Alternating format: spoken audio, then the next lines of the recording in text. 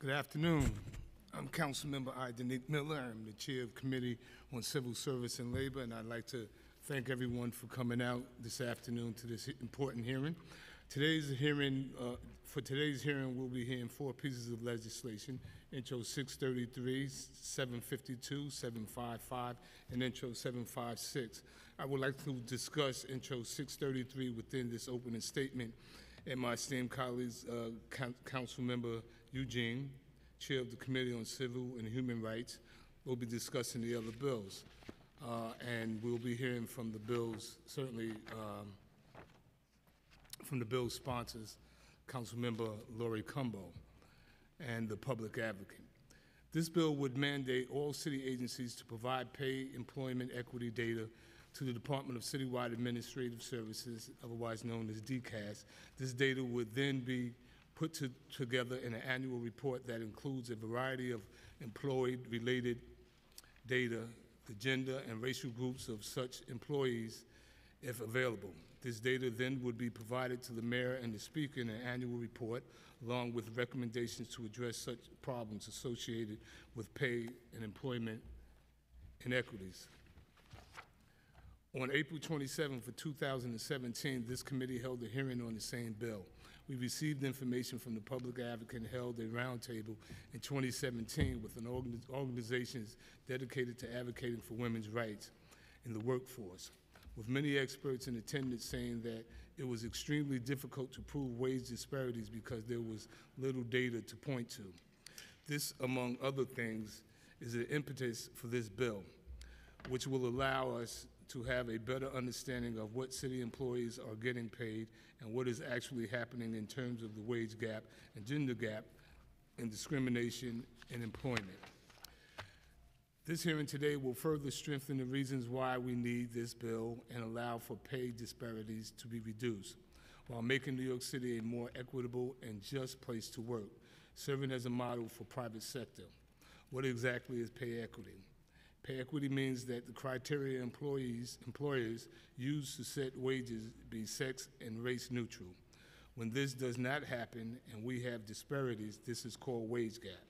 It is a very frustrating aspect of our economy that a wage gap between men and women still exists. According to the Institute for Women Policy Research, the earliest available national data from 1980 for the median usual weekly earnings in 2017 dollars shows that women made just 64.2% of what a man earned, while the most recent census data from 2016 indicates that this figure has risen to 80.5 of males' earnings. In 36 years, this gap has improved only 18%. This is simply not enough. Here within New York City, we are not immune for 2016 in New York City, New York City government. For in 2016, New York City, the overall wage gap, which compared with the median annual earnings of men and women working full-time was 85%. For black women, the gap was 53%.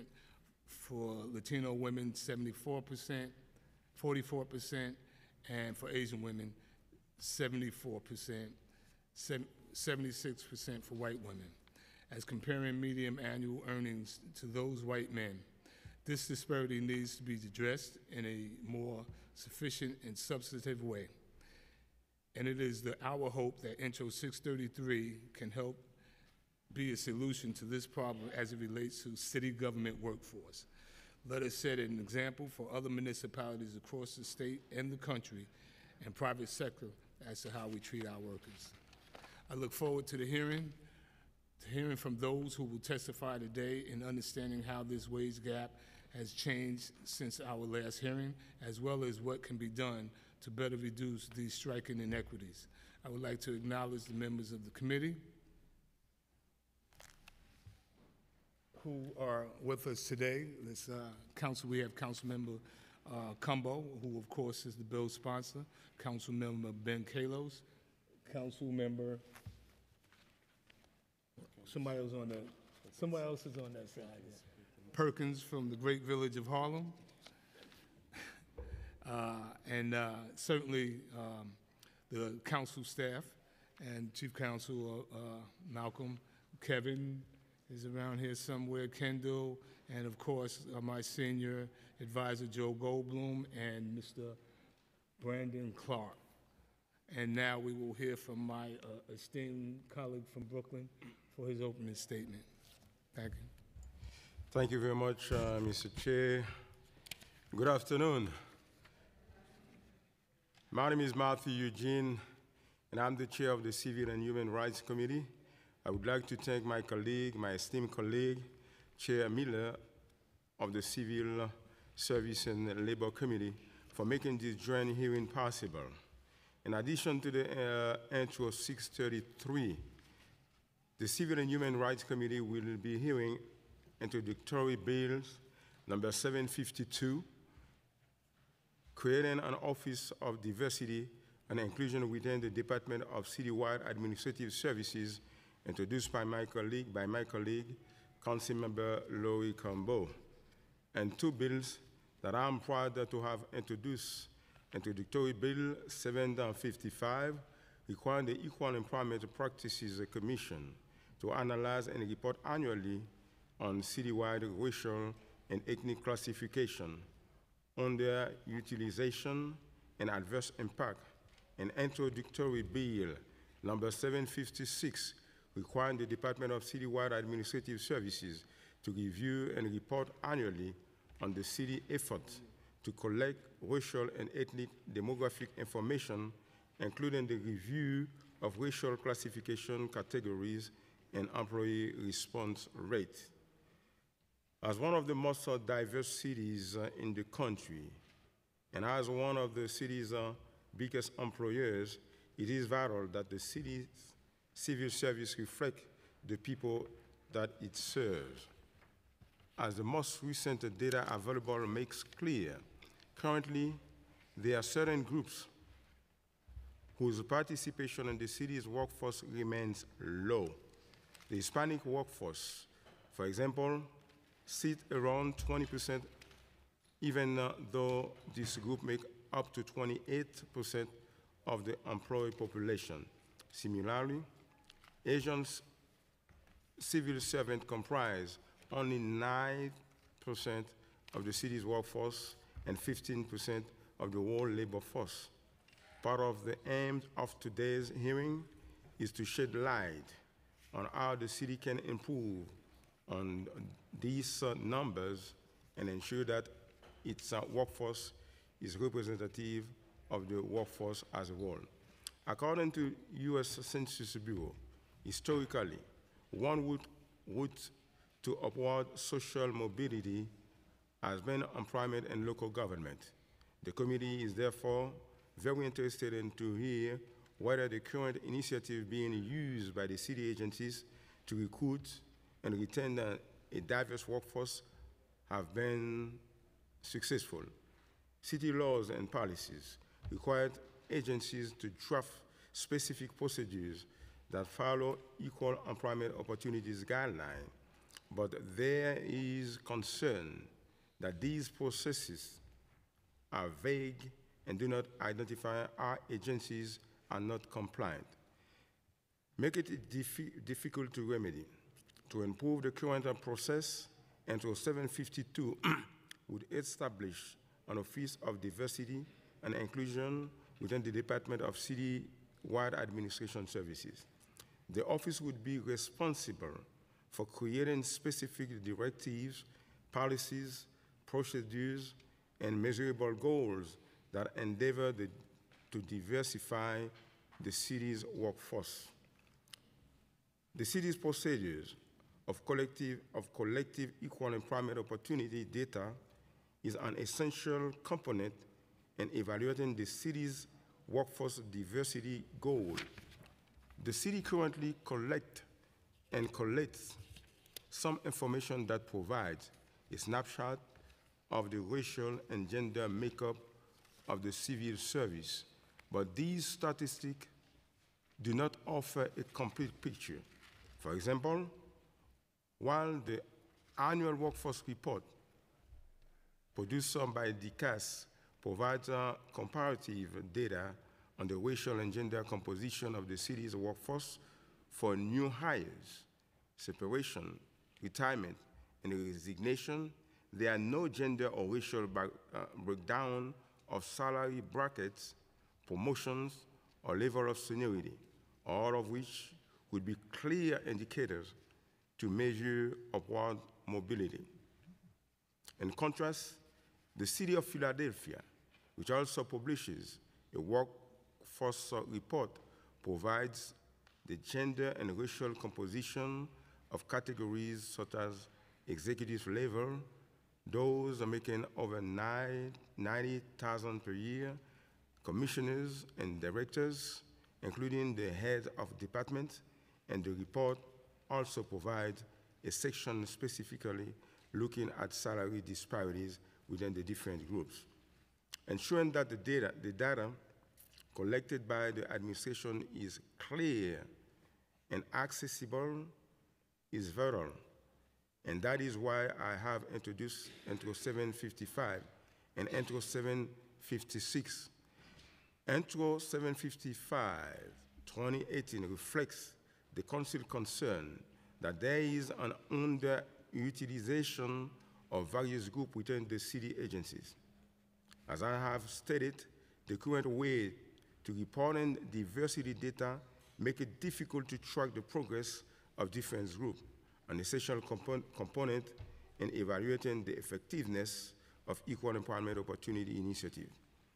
In 755-2018, Intro 755-2018 would therefore require the Equal Opportunity, uh, Equal Employment Practices Commission, EEPC, which is an independent non-mayoral city entity to report annually on whether agencies are meeting the equal employment opportunities goal.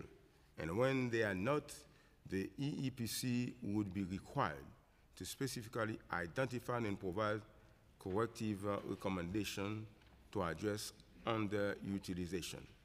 Currently, many of the recommendations are standardized and do not paint a specific picture of how city agencies are not compliant. The Council would like greater detail in EEPC's report, thereby enabling a clear way of monitoring trend. The committee is also concerned that the current diversity categories are broad and do not necessarily reflect the group that people identify with. There are over 800 different languages spoken in New York City, and yet the current racial classification used by DCAS are limited to five. The two genders categories are also not reflective of the different groups that people identify with. Currently, Arab Americans are classified as white despite facing national security uh, scrutiny, hate crime, and various forms of discrimination. About four years ago, the U.S. Census Bureau had agreed to add two new categories, one for residents of Middle Eastern and North African origin, and one for those of Hispanic origin. But in January, the Bureau abruptly announced it would not move forward with the reforms. This continued erasure of several groups is not in line with the city's approach toward diversity, and we ought to lead by example and recognizing all groups. Intro 756 would therefore require the Department of Citywide Administration Services to review its racial classification categories, which are currently fairly limited. This bill would also require DCAS to annually report on the city's effort to collect diversity data and the response rate of employees. We look forward today to hear from the administration, the EEPC, and advocate to learn more about their recommendation regarding Intro 752 2018, 755 2018, and 756 2018. Before uh, we begin, I would like to acknowledge the numbers, uh, even that uh, my colleagues, uh, Mr. Chair, did it before, but I'm going to do it again. I'm going to acknowledge the, the, the, the members who have joined us. We have Council Member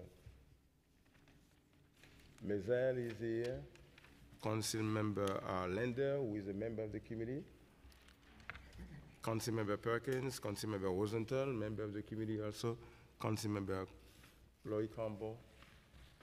And uh, Councilmember also Kallos, Council Member Adams. Thank you very much, all of you, for being here. And now I would uh, like to ask uh, the Community Council to administer the oath. Be- be- be- Before we, Ah, uh, sorry. I'm Let me turn it over to my co-chair, Councilmember Miller. You can hold- keep your hand Thank you. up like that, just hold it. We'll get back to you in a minute, don't, I'm ju- just kidding. Um, Before we begin uh, testimony, hearing testimony, I'd like to hear from uh, the sponsor of uh, 633, Councilmember Laurie Cumbo. Thank you, Chair Miller. Thank you, Chair Eugene, uh, for this very important hearing today. Good afternoon. I am Laurie Cumbo, your Majority Leader of the New York City Council, and I want to thank both my chairs, Mathieu Eugene and Councilmember Daneek Miller, for presenting this powerful hearing today, and we are certainly going to make history today. I would be remiss if I did not, did not acknowledge the tireless advocacy on the subject matter of pay equity, wage transparency, and employment diversity that took place both inside this council and with great support from Councilmember Daneek Miller. And from the countless advocates here, such as Beverly Neufeld, the founder and president of PowHer, New York, and she has been so dynamic on the steps of City Hall every year, all the time, rain, sleet, or hail, to push this effort forward. And we thank you for your advocacy. President Emeritus Arthur Cheliotes, who has been a phenomenal leader um, since he has retired, and before that, you would never know the difference that there had been a retirement that took place because this issue is so close and dear to his heart that he is going to continue to work on this issue.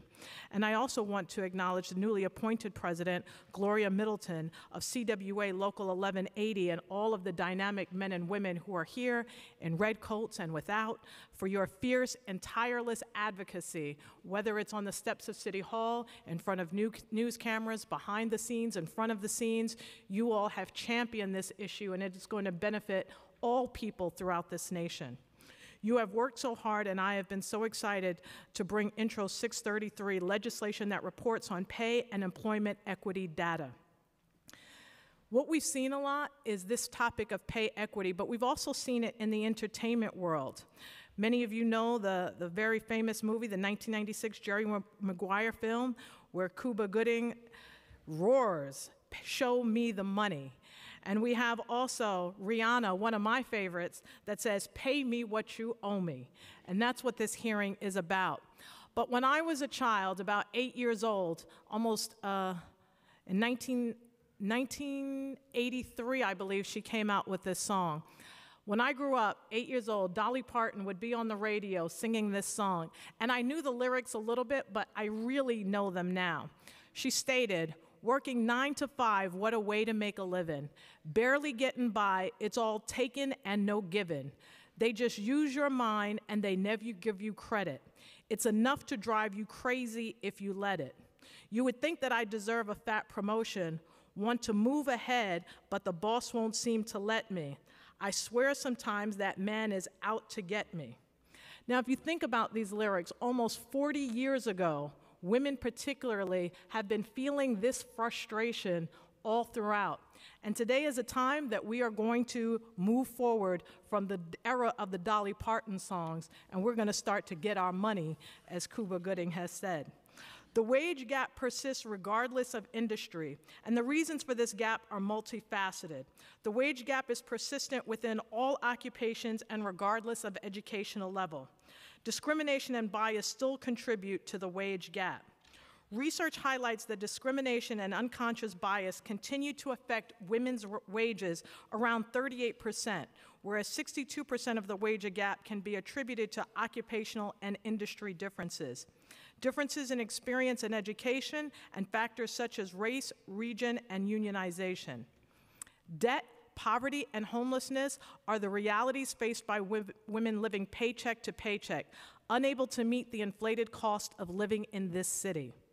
Women represent half of our city's population and workforce, and yet we have been shortchanged by the very economic system that would not flourish without our contributions. Women can no longer afford to be nickel and dime when we earn $5.8 billion less than our male counterparts annually. $5.8 billion. We know the statistics. White women earn 84% for every dollar earned by men. For women of color, every penny counts as Hispanic, Black, and Asian women earn only 46 cents, 55 cents, and 63 cents, respectively. The numbers just don't add up. Our city's economy is stronger because of our growing and diverse workforce. Look at this council. We are the most dynamic body because of the diversity that exists here. But I will be, if I were to receive less pay than any of my male counterparts, I'll say that. equal opportunity must also translate to equal pay for equal work. Though women have outpaced men in education, earning more advanced degrees, many have been benchmarks in their career advancement as a result of salary history.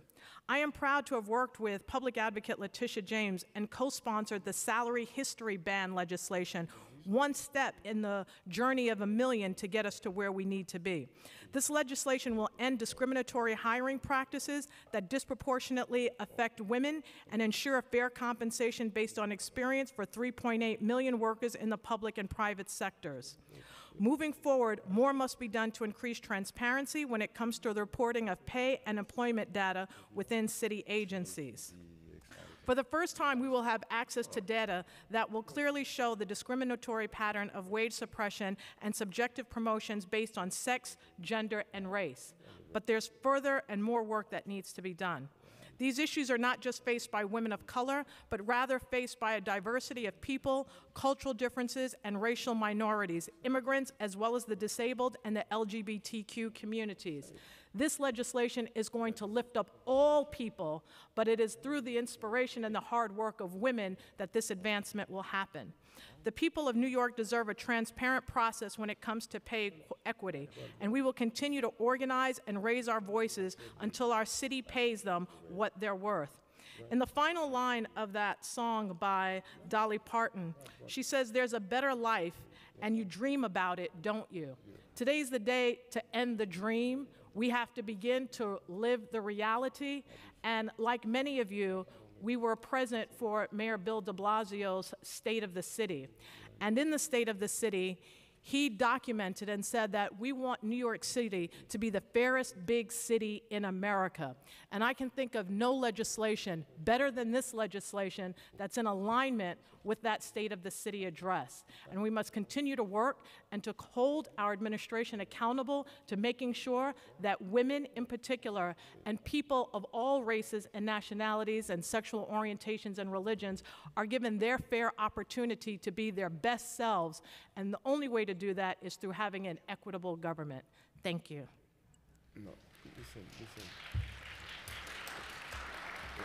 But I know it's going to be a lot of this, but this is what we do, okay? Thank, I, I'll give you one myself.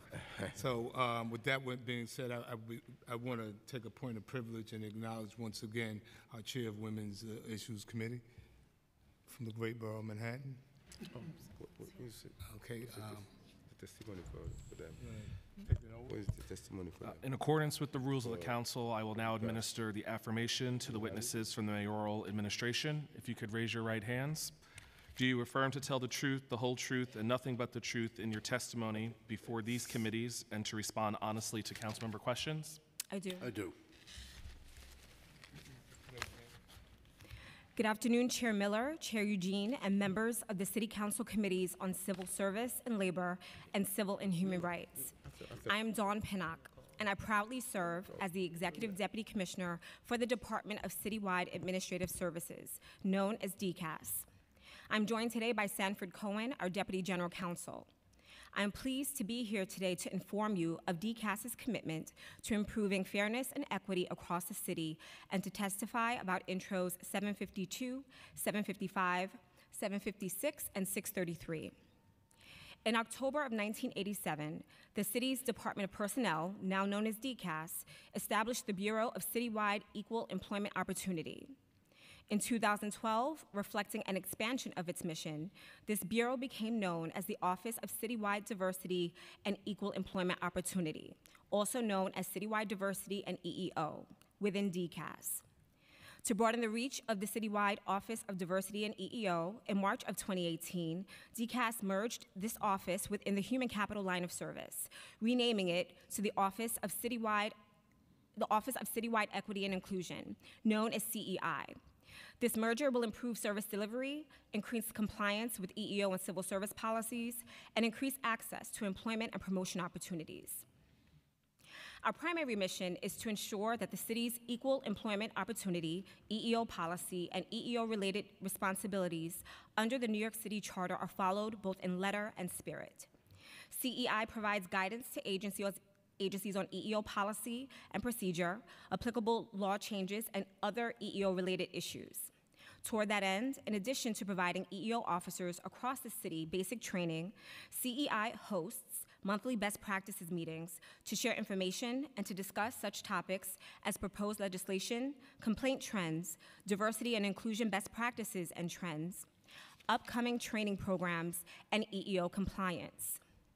Through DCAS's EEO and diversity website, CEI provides agencies with 24 hour access to standardized procedures, templates, and other resources. To implement city charter mandates, the EEO policy requires agencies to develop annual diversity and EEO plans that address recruitment, selection, promotion, complaint handling, training, and activities to prevent employment di- discrimination. Agencies develop the plans under the guidance of CEI, and they are subject to CEI's review and approval. Agency progress implementing the annual plan is captured in quarterly reports submitted to DCAS, the mayor, and the council. Agency heads are also required to issue an annual EEO and diversity statement to memorialize their commitment to equitable, fair, and inclusive employment and recruitment practices. Inclusive recruitment and outreach are key to promoting equal employment opportunity. To increase access to municipal employment opportunities, DCAS established the Office of Citywide Recruitment, OCR, in 2015. The office seeks to generate a pipeline for applicants with the education and experience needed to sustain operations across the city workforce. OCR shares information with historically underserved communities such as veterans, people with disabilities, the unemployed, and the LGBTQ community in order to foster greater diversity. Using workforce data, OCR reviews gender distribution, ethnic composition, and attrition rates of the workforce to focus its recruitment efforts. Since its establishment, OCR has participated in 360 job fairs and conducted 300 Civil Service 101 sessions, a training program developed by the OCR team to simplify the civil service process and highlight the benefits of working for the city. Through the job fairs and trainings, OCR has reached over 32,000 job seekers.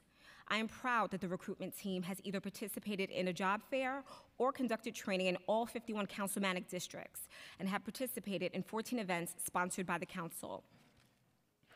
These efforts have been complemented by other diversity events supported by the de Blasio administration, including the city's first nationwide diversity and inclusion colloquium in October 2016, which drew 150 participants from 67 agencies across 12 municipalities a citywide job fair in November 2016, the city's first diversity job fair held in partnership with the Mayor's Office for People with Disabilities in November of 2017, the city's first symposium for HR and EEO professionals, which focused on disability etiquette and the 55A program in April of 2018. We've also engaged CUNY as a partner to increase the diversity of the city's entry level pipeline. We are looking forward to working with the Council on Intro 752 on ways in which to build upon the important work performed by this office. We do have concerns about the proposed mandate to set and enforce numerical benchmarks to achieve representation in the workforce proportionate to the characteristics of city residents.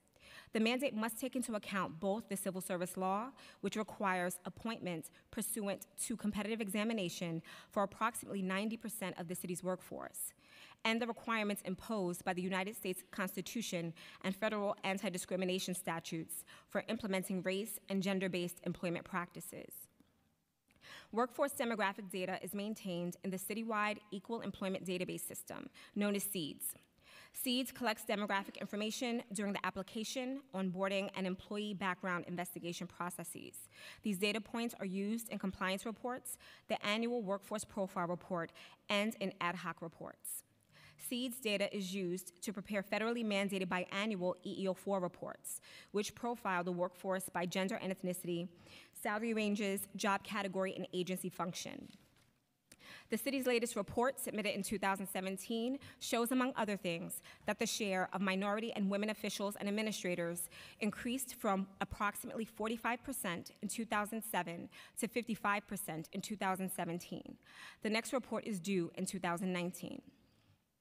DCAS also provides agencies with quarterly charter mandated reports that focus on characteristics of the workforce by agency, including job group, civil service title, race, ethnicity, and gender, civil service status, pay class, full time or part time, new hires, promotions, separations, and utilization, which compares the representation of the incumbent workforce to the available workforce in the labor market, helping to identify overutilization or overrepresentation and underutilization or underrepresentation of demographic groups within agencies and job groups.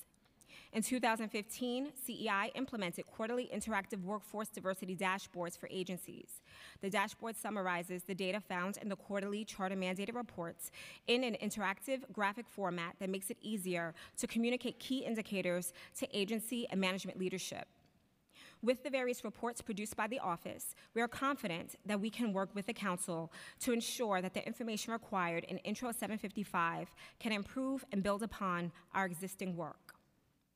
CEI develops and delivers standardized EEO, diversity, and inclusion training. These courses are consistent with best practices and guidance provided by civil rights enforcement agencies, like the United States Equal Employment Opportunity Commission, EEOC, New York State Division of Human Rights, and the New York City Commission on Human Rights.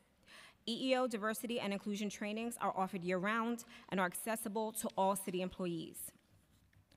CEI provides EEO and diversity training to agency EEO and diversity professionals citywide. It provides new EEO officers an introductory training within two weeks of being onboarded.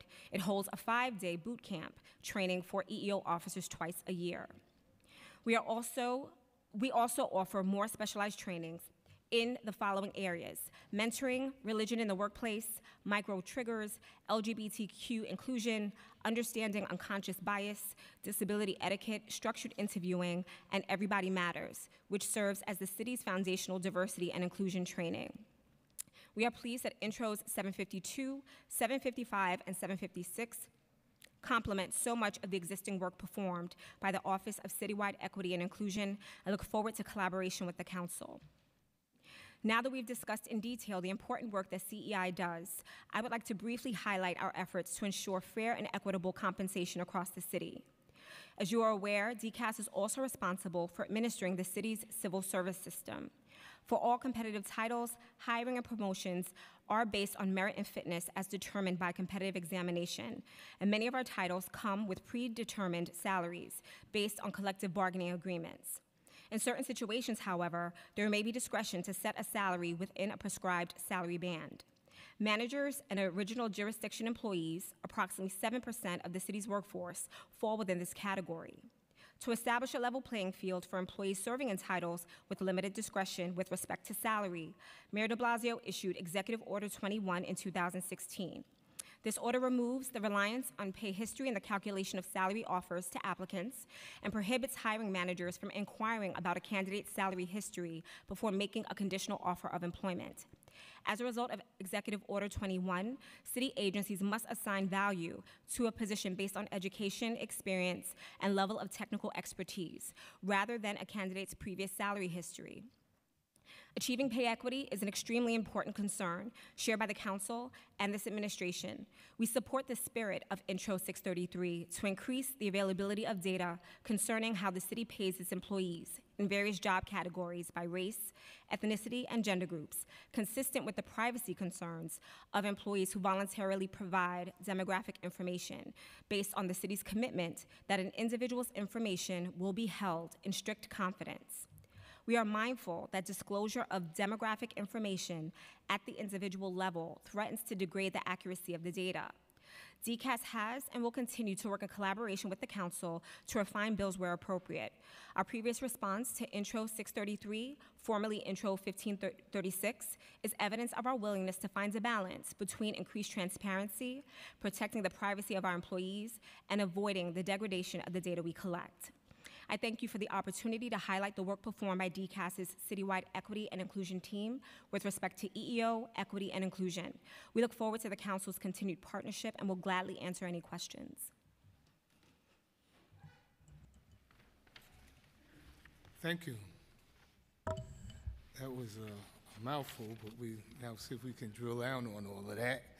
And uh, I know you certainly come prepared, as you have in the past, to be able to address these very pertinent and relevant issues that we have before us. Um, And, and, and so uh, let's just begin with what you, uh, the latter part of your testimony, which was salaries, because we know that salaries can vary widely across multiple agencies, which could also lead to pay inequities with men and women and, and folks of color and, and, and others.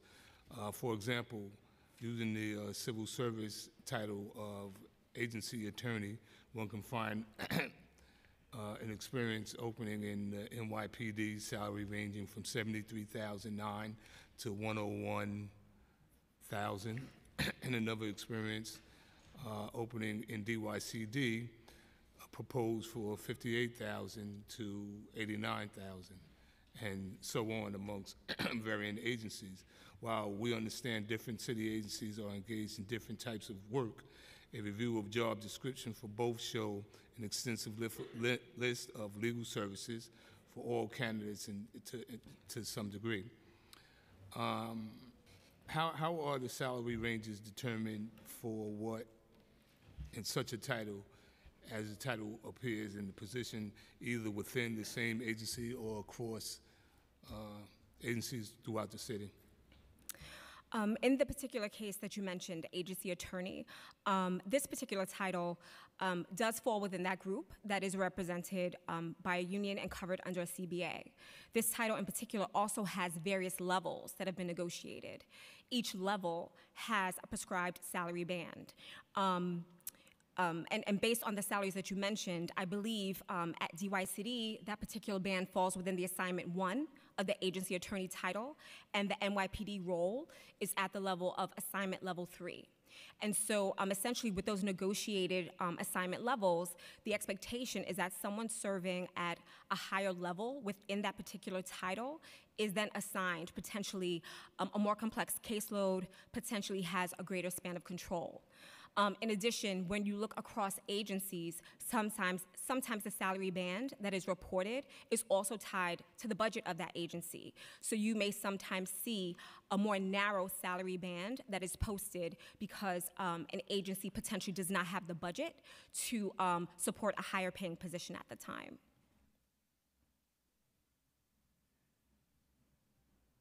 So, um, the difference between the levels, is that a open, is that a promotional?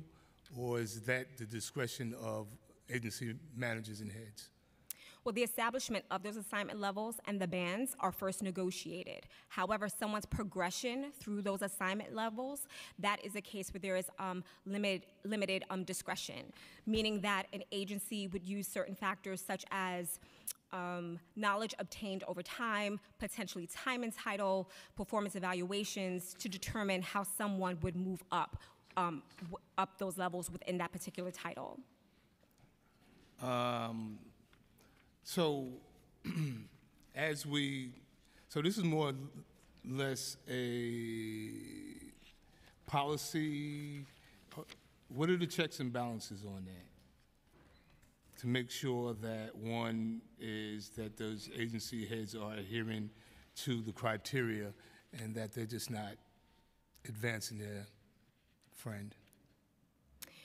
Um, in terms of checks and balances, I, I'm not really sure. Um, I'm not This really can go a lot of ways, and we, so because we're at the very beginning of this, your- your testimony and, and uh, this questioning period, so I'm, I'm sure we're going to drill further into it. Mm-hmm. But at this point, we, we want to know that if in fact um, we have such broad salary ranges, and, and your definition and justification for each salary range, there, there were several justifications for, for so. How do we, in fact, know that those justifications and those criteria are being adhered to? Well, DCAS, as you know, we set policy um, related to a host of um, employment practices, um, including EEO and certain HR practices as well. Um, the job with respect to compliance and adherence to those policies is it lies with the agency head um, at the respective agencies. The City of New York has a decentralized hiring process. Um, that being said, um, we do use one system of record um, as it relates to all personnel transactions, and that's the New York City Automated Personnel System, known as NYCAPS. So within that system, we would actually see um, the rate that someone um, is originally um, hired into. And so, um, in terms of checks and balances, we then ensure that individuals are not hired above the prescribed and negotiated salary range.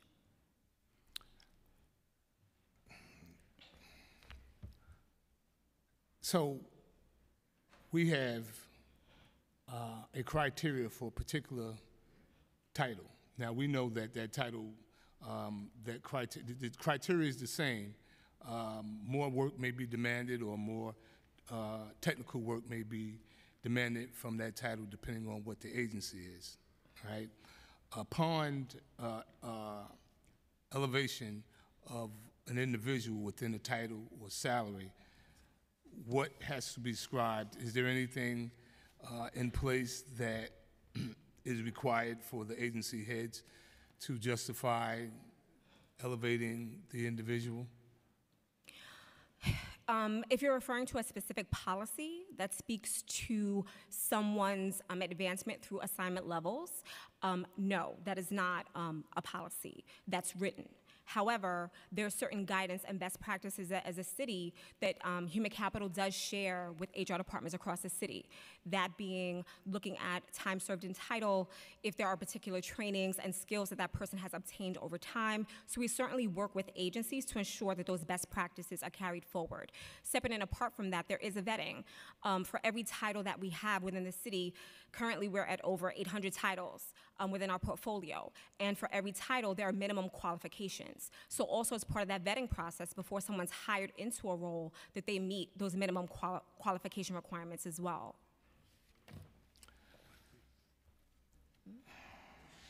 So is there a centralized uh, database where we could find this information? Could I go online and see why council member was promoted No, online? There is currently no database that would provide you with that information. Okay, because if it was a competitive exam, we, the scores would be uh, available, right? Would be Right. open to the In public. terms of a civil service exam, yes, there's information that we currently um, have that's available that would um, indicate your score on um, a civil service exam. Once again, as mentioned, 93% of the workforce serve within titles where there is essentially no discretion because those um, salaries are negotiated and covered under CBA. It's um, 7% where there is some discretion um, that could be exercised. So I know that, I, I know that council asked me to kind of, to, to, to ask this question, but it's so much here that we, and, and you guys hosted a, a inclusionary and diversity conference, uh, was it last year? Yes, we did. Uh, uh, and, and, uh, addressing best practices nationally. What did you learn and what have you implemented? Um, we actually, well, the reason why we wanted to highlight the colloquium that took place was because really it was a first. Um, most of the conferences that HR and EEO professionals take part in really speak to the private sector, where there's a great deal of discretion as relates to salary setting, hiring practices, et cetera. Within the city, as you know, New York City is a civil service municipality. So with that, there are some inherent restrictions on um, navigation through the civil service system. Um, that being said, one of the best practices that um, we learned, um, and we were happy to see that it confirmed how we've operated, was really a reliance on the data. Um, as you know, um, DCAS has worked really closely with the council to be not only collaborative but transparent. Um, um, the information we have on the open data portal, the EEO4 information we release, um, our workforce profile report um, with every iteration um, looking at different slices of data are definitely evidence of that. And so certainly that was a best practice that we knew to continue with. Also, um, creating greater synergy between um, EEO professional, professionals and HR professionals was something that we certainly carried away um, because sometimes complaints related to salary setting, um, rate of pay overlap between those two areas. And that was also one of the reasons why, in this latest merge, we decided to merge our Equity and Inclusion Office within Human Capital to ensure that that synergy existed for the city. Are, there, are there some agencies that you find more compliant than others, or some agencies that obviously, excuse me, uh, lack the type of diversity that reflect the values of the city? Um, certainly, as you look across job categories, you may see um, differences in diversity. Um, we have some titles where the historical candidate pool is really homogenous, where you see um, more women historically applying for social services positions. Um, um, and then, um, as it relates to certain craft positions or skilled trades, you would see that the candidate pool was, you know, primarily men. Um, and so you would see that diversity um, variance across city agencies. But uh, in, in, in terms of uh, titles that, um, in terms of titles that have a particular criteria that have been met by all the candidates, but candidates end up in one agency and not another. You see that? I, I don't understand the question. I'm sorry. Can You're you repeat saying the that the question? police department may pay a little more uh, than others in that particular title. in that particular in title. that particular title. Um, but there are titles that do similar work across the city um, and are paid differently in different agencies. For Um, example, DOT. There are laborers throughout the city, and DOT is probably the least, one of the least diverse. And, you know, interestingly enough, I spoke at their Black History uh, event in February, and, and I started by uh, saying that I bet I could identify what department in the agency that each person that was in the room worked in. And that's uh, been kind of the history of that agency. Um, But based on the data that you have, uh, based on the data that you have, could you identify um, certain agencies that, that are, are better and includes, being more inclusive than others? I, wouldn't necessarily frame it as one agency being better or worse, because in this particular case of laborers, this is an area where, as a city, you know, there are some additional improvements we need to make. Um, one of the focuses of our Office of Citywide Recruitment has been to look at skilled trade positions, labor positions, um, carpentry positions, because historically the candidate pool has had so few women. Right. And then in addition to taking a civil service exam, where, you know, the beauty of it that is based on merit and fitness and not um, gender or race, once again adds um, another um, restriction um, um, as it relates to um, those who are finally appointed into the positions. So what we do is we look at our workforce utilization report, as I mentioned in testimony, that really shows you where there's underutilization across job categories. We then work with agencies to enhance their recruitment efforts to ensure that at the time that an exam is administered, that you have a more diverse candidate pool that will eventually take and pass the exam. So I, I, know that in terms of the human capital and, and, and, and the competitive exams, right? But I, I, would submit to you that there are three, probably closer to five variations of the labor title within the city of New York. Maybe two may be open competitive, the others aren't, and there's a, a, a serious pay disparity in those, and that is just one example. Um, but they're all city employees. And how, how, how do you aggregate this, this data to, to kind of figure out? And that's essentially what this is about, right? Which is uh, whether or not people performing the same task or being compensated equitably. So there are a few factors that we look at. Um, we look at potentially time and title, education and experience. We look at the candidate pool, as I mentioned before. Um, we also um, look at the span of control, level of responsibility of that agency. Um, so once again, we, we don't look at one factor to determine um, whether disparity exists. We look at a host of factors. Um, additionally, there are times when, and use DOT as an example, um, because of a recent um, legal mandate, they have this need to hire in significant numbers for a few titles. Some agencies have come to us asking that we conduct some kind of analysis because they believe there may be poaching going on, meaning that one agency is looking to hire um, folks serving in the same title for more money. And so in those cases, we do provide agencies with analysis that shows current um, salaries of their incumbents, showing them the min, max, and average to see how closely aligned their salaries are for recruitment purposes. And how do you analyze this data? Do you, do you sit down with these agencies and, and analyze the data? we meet with agencies quite often. We do. Um, and we ask to review job descriptions. We ask to look at candidate slates. There are reports that we have that, um, especially for discretionary positions, where um, a collective bargaining agreement wouldn't um, dictate the rate of pay percent- potentially, um, where we look at was there a diverse candidate pool? Did you have a diverse um, interview panel? Um, EEO officers at the agencies also review interview questions. Um, and we also provide structured interviewing um, classes and unconscious bias training, once again, um, to push forward our mission in terms of having a fair and equitable workplace. Okay, thank you. Um, And certainly, we have more questions. We have questions from the, my colleagues. Councilmember uh, Dromm? Uh, Councilmember, we've been joined by Councilmember Rodriguez, and, um, and uh, going to open with Councilmember Rodriguez. Good question? in the city of Two that we were able to get a mayor elected with a mandate to close the gap. Reality is that we still have the city when it comes to diversity in leadership position. And this is more than one individual. I don't think that the city have ever had a mayor so committed to bring more black, Latino, and women to the workforce, especially to leadership than this mayor.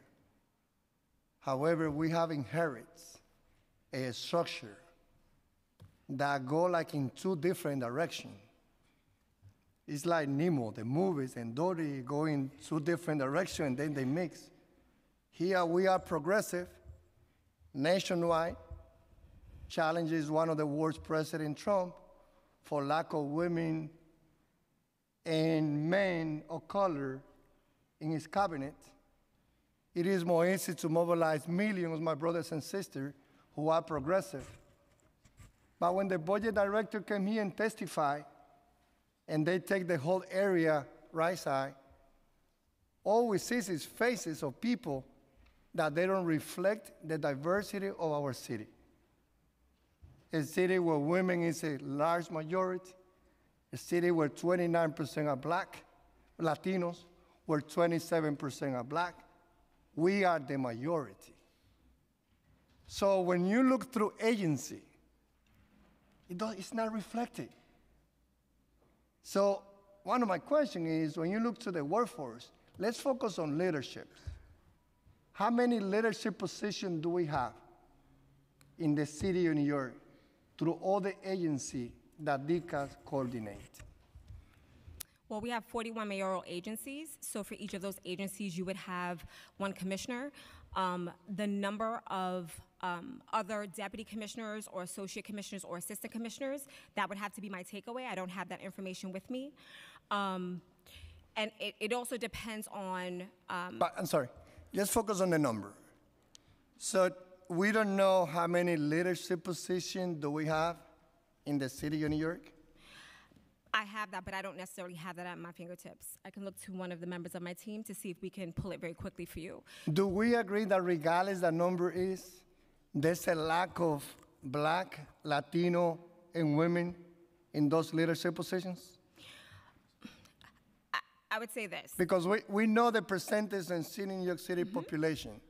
Do we feel that the leadership position throughout the agencies reflect the New York City population when we look to the breakdown of white, black, and Latino and nation?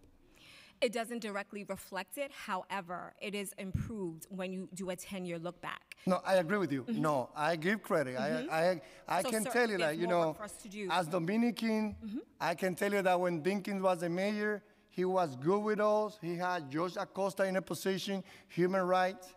In this administration, we have Lisette Camilo's in DCAS, we have Feniosky Peña-Mora. I have no doubt. But you know, mayor will be over in four years. We don't know who the new mayor is going to be. So the importance of this legislation that also I want to add my name, that is about being sure that we put the tool in place to be sure that again, like you know, we've been failing, and I'm not saying the last four years. I'm talking about we as a city. It, and it's not even. Tell me, look at the banking commission in New York City. Tell me how many are black and Latino the most powerful agency, the most powerful division in our city, still doesn't open the door to diversity. And I think, again, and it's coming from someone that sees this mayor as a partner, someone that has seen improvement. But you look at board throughout the city of New York, and I know that the mayor is committed. But, you know, as a former teacher from 13, for 13 years, when you go to TWIS, when you go to any agency, people have been there for 30 and 40 years. And it's difficult to share the privilege. It would take people the understanding to know New York City changed. In the 1900 census, the New York City population were, was 20, 90%, 96% white, 2% black. Latino, we were not counted. In the 2017 population is the number that I shared with you. So I think that this reporting effort that we want to put in place is about to take our city where we should be. To be sure that in any agency, commissioners, directors, budget director, that should represent, we, need, we can be the model of our nation. And I hope that in the next four years, with the leadership of the mayor, with his commitment to continue opening more doors, we really work passing this bill, get DCAS in anything that we need to put in place, listening to CWA, and let's be sure that we pass this bill because this is needed, not just for us, it's also for our children. Thank you, council member. And uh, certainly, um, council member asked a good question about the leadership. Certainly, if the discretion of the elevation and these salaries is determined by such leadership, it is very important that the leadership reflect the masses. Um, We're going to hear from Councilmember Cumbo. Thank you, Chair Miller. Wanted to jump right into the heart of the matter. Do managers and supervisors employed by city agencies undergo unconscious bias training, which you've already addressed, but I wanted to get more specific into it, or what are the major challenges facing women and minorities in the city workforce today in terms of unequal pay distribution? So, in your experience and what you're seeing um, on the ground, what are the major challenges facing women and minorities that are present right now in current day? Um, I would say the primary challenges that we're seeing um, and we're actively trying to address really center around the fact that we see that um, a career trajectory for a woman is sometimes adversely impacted because um, of childcare or taking care of their families. And so, um, with those um, positions over which we have limited discretion, um, the managers and original jurisdiction employees that I mentioned, um, we do have a paid parental leave program in place. And so we consistently um, market the program, make the services available to women and to men. So at the time that they um, need to take care of a child, that they have the opportunity to do so without worrying about um, where they stand professionally. Um, and additionally, I think that specifically in certain job categories, we've historically had a problem as a city with recruiting um, women and people of color um, in, in certain industries that have been um, predominantly um, uh, comprised of um, white men. We see that um, in our skilled trades. We see, see that in other um, types of um, positions. And so our Office of Citywide Recruitment has partnered with a host of CBOs as well as other agencies where there is underutilization in order to address um, those particular issues. Let me just uh, go back to your, your first response. So, what you've noticed or what you've documented from all of the work that you've done is that the challenge that women are facing in terms of uh, promotion and or pay gap has much to do with uh, childcare issues and, and issues around um, family leave and those sorts of dynamics that are impeding a woman's uh, ability to make what their male counterparts make and or to get hired for uh, major promotions and that sort of thing it definitely um, is a contributing factor, and that is not um, unlike what you see across the nation. And, and that was one of the reasons why parental leave for the city of New York was really so important for us to move forward with. Now, parental leave is great. I took advantage of it. My son is now eight months old. But after those three months are up, you're in a situation afterwards. So it's great that we have that, but it would seem that the focus would be more on um, addressing that issue. Has there been any real thought in terms of addressing the issue of the fact that so many families, predominantly women, need child care? So is it is there has the thought been if this is the major challenge that women in the workforce are facing, how can we on a citywide and agency above and beyond uh, above and beyond universal pre-K, which is awesome, but in addition to paid family leave, there's that gap between three months and four years old um, and beyond in terms of after school, working late, weekends. Uh, someone in my district even came up with a concept called um, instead of daycare, night care. Because there are so many families and women that are working jobs in the evening, that are working nights, that are going to school late. Has that been a thought in terms of how do we rectify um, this challenge so that all people um, can work equitably? Um, in terms of the work performed by DCAS, not to date, in terms of um, looking at um, programs such as night care, but um, to your other comments regarding challenges that women sometimes face relating to unconscious bias, um, one of the things that we did put in place was the training. And we also incorporated that within structured interviewing training as well to have individuals be more mindful of the areas in which they are biased to try to level the playing field for all applicants for positions. Mm-hmm. Have the data from the CEEDS um, ever been publicly available? Can you identify any potential problems with making them publicly available? Um, our concern about making it publicly available is um, uh, an employee's right to privacy, essentially. The information is reported on an individual basis. Notwithstanding, the CEEDS information directly feeds our workforce profile report that is um, provided online, as well as the EEO4 report that we share um, with the federal government every two years. So if I'm a African American woman with a child, and I feel that through some water co- cooler discussion, I feel that I've kind of stumbled onto the fact that um, potentially other people in my office, male colleagues, are making more money than I'm making currently. What avenue or what systems are in place for me to then verify because you've spoken about the fact that you don't want people's internal information shared and that sort of thing.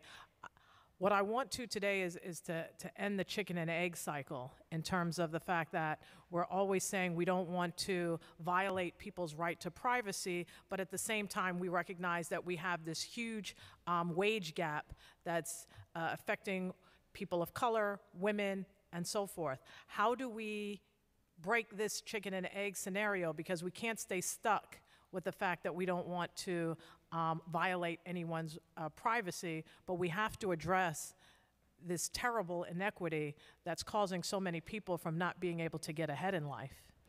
Um, so to your first question, in terms of the avenue that someone would pursue, mm-hmm. so if someone believes that they are paid inappropriately or they believe that they're serving um, potentially in a, a title that they deem lower than the work that they've been assigned, there are three potential paths they can take.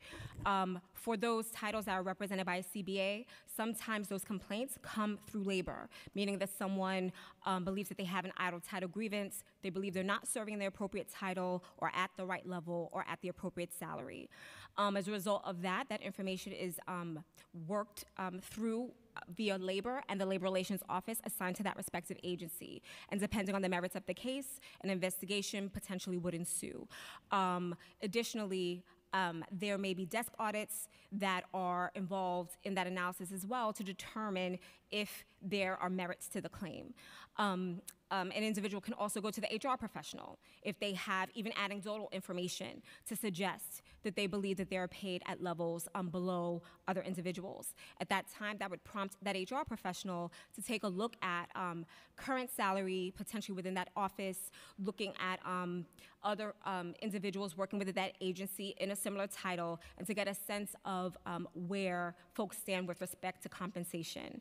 And then the last um, place where an employee can go potentially would be through the EEO office. And in some cases, that could be um, a complaint related to compensation, but also tied to the protective class that someone is in. Um, and once again, depending on um, the merits of the complaint, uh, an investigation would ensue. But essentially, you as the employee would not have the power or the access to that information. You would then have to rely on third parties or other individuals in order to identify that information for you. Council member, information about all city employees and their salaries is publicly available. We put out a list in the civil list every year that um, shows the names and the uh, um, salary for every city employee. So that information is available to somebody who believes that he or she has been um, experiencing discrimination on the wage side. But is that what- what information not- also available by race? it it is not available by race or gender, and the reason for that is, But that's what this conversation is specifically. and I'm getting to that. Okay. As I think you know, the city makes a commitment to employees when they voluntarily disclose their race, their ethnicity, or their gender, that that information will be kept um, in the strictest confidence. And a principal reason for that is the concern that if it's not held in strict confidence, people will not report those demographic characteristics to the city, which will um, degrade the value of the data that we rely on to report to the federal government, which we have to do every two years, and to do our analyses and to make information available elsewhere where needed. Reporting the race and gender and ethnicity of 350,000 city employees in a public report that goes on a net, on, on the internet each year poses a real danger to our ability to get cooperation from our workforce to provide that data to us. That's why last year, when we discussed this bill, we proposed um, an alternative that would allow for meaningful analysis of wage disparities while at the same time maintaining that commitment to the security and the privacy of uh, race and gender and ethnicity information at the individualized level. It was um, an effort to um, provide a middle ground so that we continue to um, collect that data in a meaningful way, in an accurate way, and at the same time allow for analysis of the things that you're looking at. Are there differences in wage scales and wages between women and men in the same job categories, uh, and so forth? What does meaningful more specifically mean? Because if we're discussing that we're not going to, uh, or rather, let me just ask you this question. Do you believe that there is inequity uh, in terms of pay across race and gender? I believe that um, there are different opportunities that have been open to women or to racial or ethnic minorities than to whites and to what titles they can go into. And that explains on an average basis why there are disparities uh, along those lines. Within titles, because um, for the vast majority of our employees, their wages are set through collective bargaining. Um, men and women in the same titles tend to advance pretty much in lockstep. There are not great wage disparities within titles. Um, and so that's the answer to that question. How would you know that answer? Do you internally in your position have the ability to see disparities based off of race, sex, gender? Are you internally allowed to see that information, or are you making a, a feeling assessment? No, well, actually, the, the um, public advocate recently reported on that and showed that within titles, there's very little difference Like a between $10,000 difference? very little difference between the pay that men and women get or that uh, white people and, and minorities receive within those titles. The disparity was really in the opportunity for women to move into certain positions. Um, there's been a historic um, inequality in the fire department. We, we all know that, and that's something that we're working on um, on a daily basis with, with, in the court system. Um, and there are other examples like that. But within those job titles, there's, there's not a tremendous disparity.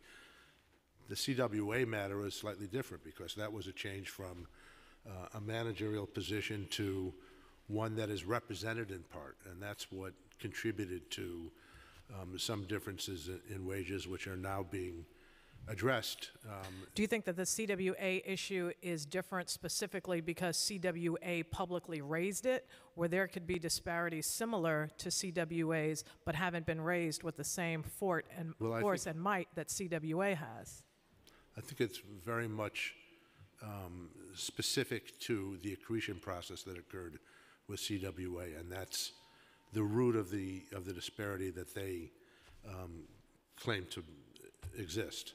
But it's being negotiated now in good faith by both sides under the supervision of a a United States magistrate judge, and um, I have every confidence that it's going to come to a successful conclusion.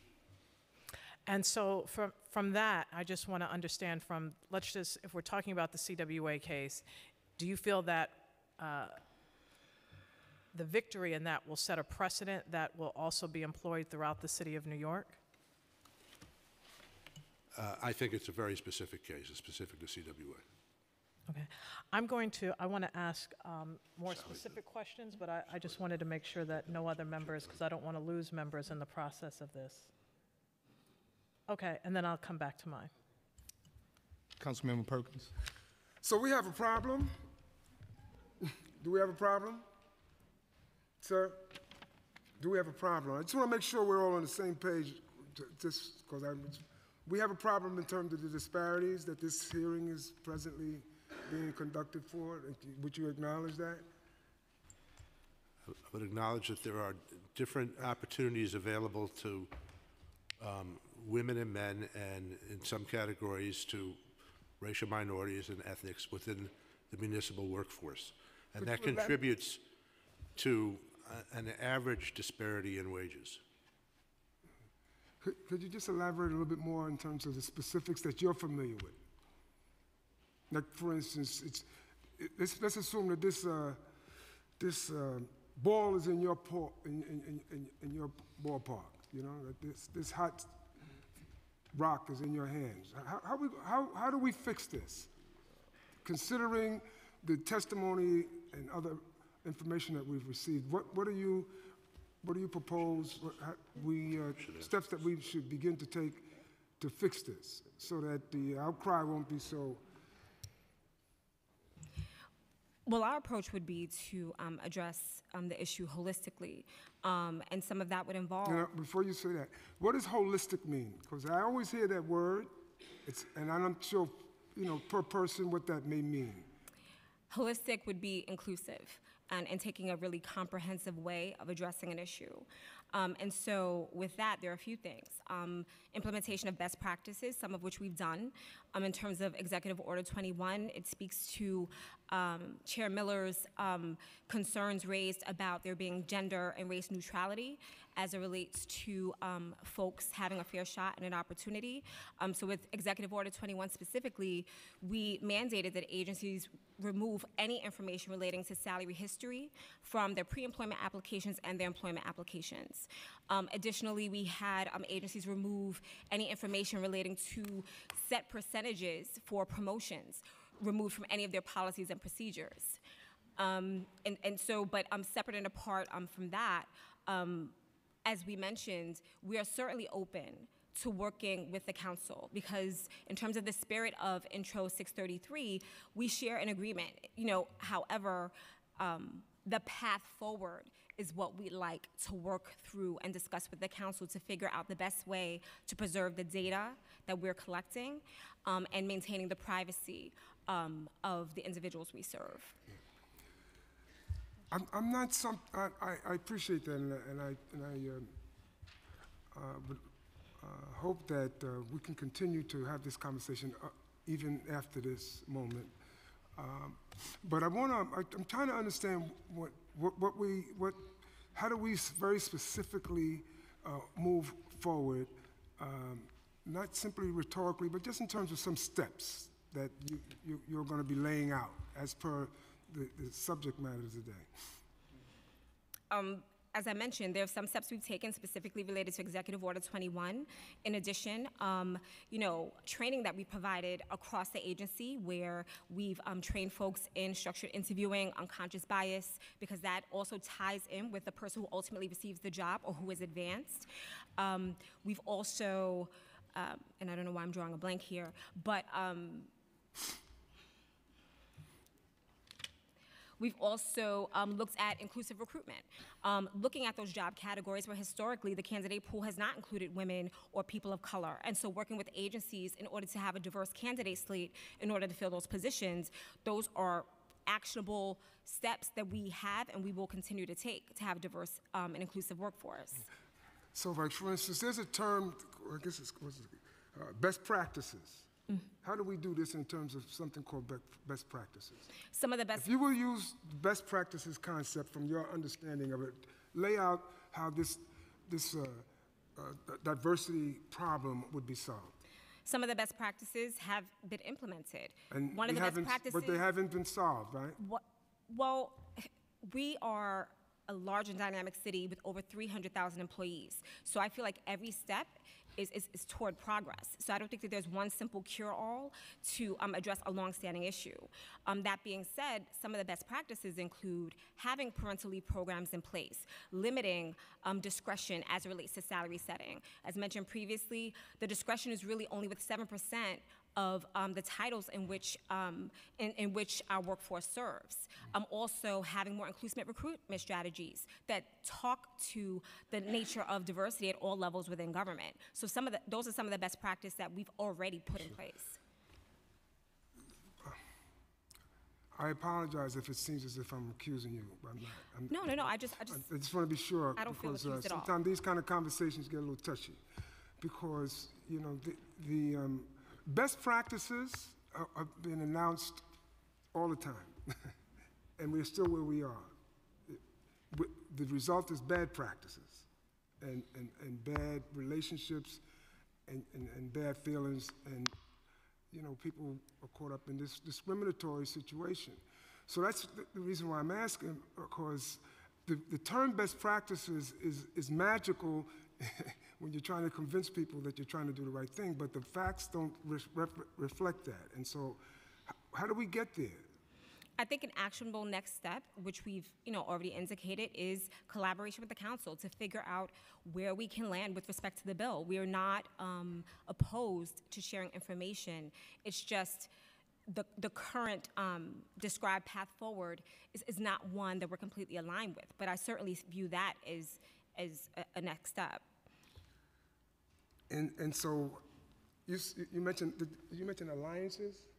Did I hear alliances? No, alignment. Oh, No, alignments. Right, the path forward as described currently in intro 633 gives us some pause because we are concerned about the privacy of, you know, our client base. That being said, um, we had, or we believe that we had come up with a solid middle ground to help achieve um, mutual goals. Our rights to preserving privacy and also um, the council's um, desire to have information that we can um, collaborate on and analyze. Okay, So what, do you have a sort of a schedule for when uh, some of these practices will unfold and become evident and manageable or at least measurable? Well, the best practices that I mentioned have already been instituted. In terms of an actionable next step with the council, that would really, you know, be based on, you know, schedules between, you know, our legislative team and with the council to um, further refine the bill. Okay, so this is, let's go, so in that, in that vein, you have an idea when we're, what is the plan? What is the schedule? When, do- what are the milestones that we're gonna be able to measure or see in terms of how these best practices are working out? Um, in terms of milestones that have been set, I mean, in terms of parental leave, we have information regarding the numbers of people who've actually um, taken parental leave, um, and we have that separated by gender and the length of time that they've used um, this benefit. Um, in terms of unconscious bias and structured interviewing, we collect training data, um, and we have um, certainly incorporated that in the diversity and EEO plans of every agency, which we review those updates that they provide to us. Those updates are sent to the council as well. Um, and so, um, certainly, if, if there's a takeaway in terms of um, any information you'd like um, to know where we stand with respect to the implementation of those best practices, we can certainly furnish it. All right, Thank you, Councilman. Thank you. Lord, before I get, let me just jump in here real quick, because, um, uh, Counselor, I have to say that I, I, I I just categorically dismiss the fact that because people aren't a part of a particular culture, because you don't have firemen in your family, you're not going to become a fireman, or because you don't know for some reason or the other that there is a promotional opportunity or advancement that you're not going to take advantage. I don't think that is that simple. I think that we have been, in fact, we've introduced legislation about the online portal, uh, which is now up and running. And, and, and the reason why we requested that online portal, not just to make it easier for individual to apply and become a public servant, but um, to be able to uh, report and account who is providing these services. And certainly, just by the mere online portal and the data that is collected is, is information that is useful. And we know that is useful. I think that we have all agreed that it's useful. How we disseminate that information is important. To the degree, I, I think I have just about all agency data that was available, and, and from those who have the highest number of white male dominated to the lowest, to the male, to the women uh, uh, dominated titles. The one that, the one exception is the one that we have all agreed that has not been in compliance, that have been major parts of lawsuits and, and, and found themselves in the newspaper, DOT. That data is not available. Interestingly omitted. So with that being said, I, I think it's more of, of the culture. And how do you change the culture in that the people that have the ability to promote, to uh, give increases in pay and compensation, um, those are the folks who have traditionally been doing that. And once you step outside of merit-based and uh, contractually negotiated salaries, we find a problem. That being said, getting back to the data and, and, and uh, rights of privacy, you're talking about the people those civil servants have. I've had the pleasure of being a business agent and the president of, of, of a union that represented thousands of city employees and uh, public employees, and I don't think any of them would have objected to information being revealed if it was a matter of getting to a matter of they were being uh, disproportionately undercompensated, number one. Number two, and most importantly, I, I, I think that there's certainly ways to disaggregate this information and this data through uh, uh, demographics, individuals, uh, uh, uh, individuals and levels and degrees of accuracy of the data. Now, um, first of all, we're talking about titles, not necessarily individuals. And, and in fact, we were talking about the individuals itself. There are ways to redact simple data in alphanumerical, uh, deleting data, uh, dates, and, and, and other things that we could certainly, without identifying Mr. or Mrs. Jones, um, fact of the matter is, having been a, we go by numbers right? And the public doesn't have access to those numbers, nor does your colleague have access to your number, right? So no one will know who that individual is unless that individual uh, voluntarily gives up that information. My point is, is that there are a plethora of ways that we could arrive at the necessary data if we had the will to do it.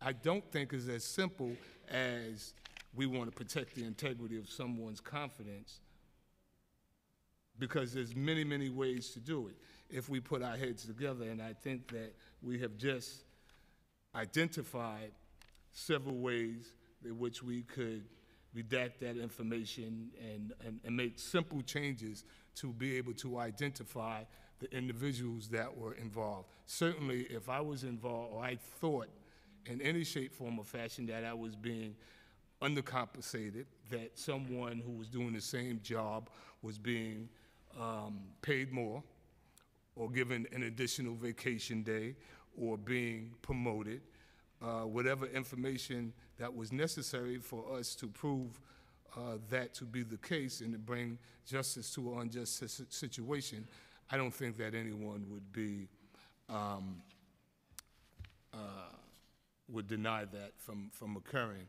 So, uh, have we attempted to uh, analyze this data in, in different ways, in, in such ways um, that we were redacting or did it alphanumerically, or simply identified employees by their identification number, 607-592, by the 832957, which is my pension number. Who knows? right? But I, I mean, there, there are just a number of ways that we could identify each and every person in this room without identifying that person by his name or social security number. And uh, certainly with the resources that we have sitting on that side of the table, that we could do that. It just has to be the will. With all respect, council member, we've looked at this issue very closely. it's very easy to reverse engineer the identities of people with alphanumeric anonymizing or with using other methods like identifications because the information that, that would be published under the current draft of this legislation would have numerous data points starting date, the wages, uh, I think six or seven data points in which it would be very easy, based on information already in the public domain, to identify the persons through reverse engineering by their race, ethnicity, and gender. and so that's why we're concerned about publishing data disaggregated at the individual level and have proposed an alternative which will allow for the analysis that you're looking for without um, trammeling on those individual privacy interests and degrading the class of data that we all want to collect.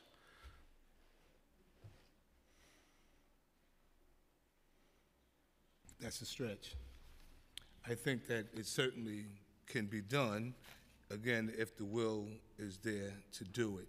Um, Are we using the, um, here's a question. Um, I know council member mentioned, uh, asked a question earlier about how information was gathered on demographics and so forth. What happens when it is not self-reported?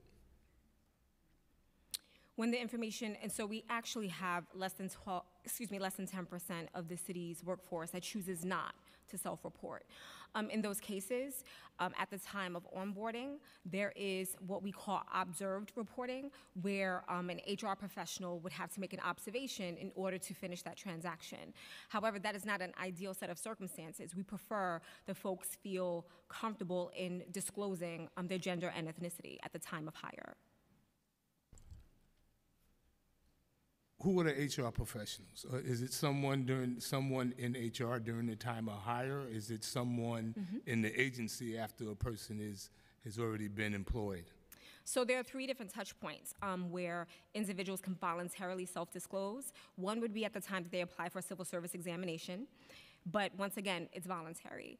Um, at the time of hire, that's when that observed reporting would take place. So if someone decided not to include that information on um, their hiring application via e-hire, the HR professional, and that could be anyone, an HR generalist, the analyst processing the transaction would then be required to provide that information. However, at the time that an employee decides to, to self-disclose, that would override anything that would have been um, considered observed reporting. So once again, our goal is to encourage people to disclose. Because obviously, um, that is very subjective, and the person that was outside the individual themselves um, could be wrong. You're exactly right, and that's why the preferred approach is to have an environment in which people feel um, open and safe to provide um, to um, self ID accurately. And is, is there a point where it's recorded that it was done by a third party or an outside person other than the person, someone? Um, I'm just trying to think about the actual screen. Um, I don't think it necessarily makes that distinction, but I, I would need to follow up on that. Councilmember Cumbo? Thank you. Thank you, Chair Miller. I want to get right into the legislation and to gain a greater understanding of the, the elements of the legislation and what your thoughts are on it. So, in your um, testimony, um, you stated that we support the spirit of Intro 633 to increase the availability of data concerning how the city pays its employees in various job categories by race, ethnicity, and gender groups, consistent with the privacy concerns of employees who voluntarily provide demographic information based on the city's commitment that an individual, individual's information will be held in strict confidence. So I want to understand the spirit and bring the spirit into reality what are the what where is the space and time between the spirit and the reality in terms of your thoughts on this legislation And so when we say we agree with the spirit of it, we do believe that this is um, certainly an issue that's worth um, and worthy of further analysis. However, our concerns are um, reporting someone's individual information. I think the city um, at large has really um, enjoyed a process whereby less than 10% of our population feel comfortable disclosing. We've also expanded our self, self-ID categories to allow individuals to um, um, share with us if they are a disabled veteran or if they belong to one or more races, excuse me, two or more races. You know, um, our concern is really the degradation of the data going forward if we um, move forward with sharing individual information at the individual level. it just we all know whether you can at this time specifically state that while you're at this hearing we all know that there is a huge uh, inequity issue that's happening in terms of pay across the city. We understand that and we know that.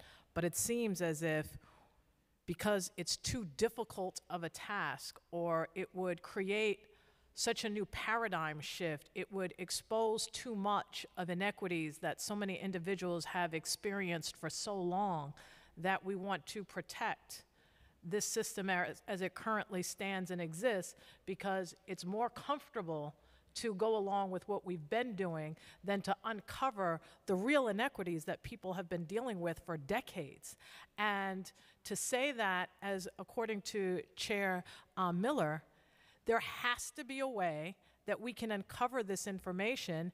And if people And, you know, we, we're saying this mostly impacts women who are faced with issues around childcare and how, God bless them, if they can go through all this data and determine that this person was hired on this date and this person works here and they figured out how to do this, so it must be this person.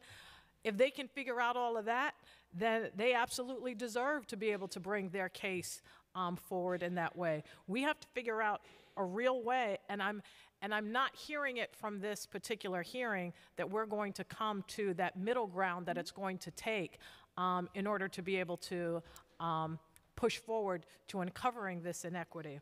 And I, and I also wanted to bring your attention to um, Intro 752, a local law to amend the New York City Charter in relation to creating an Office of Diversity and Inclusion within the Department of Citywide Administrative Services. So I wasn't clear on your thoughts um, in terms of your feedback on Intro 752.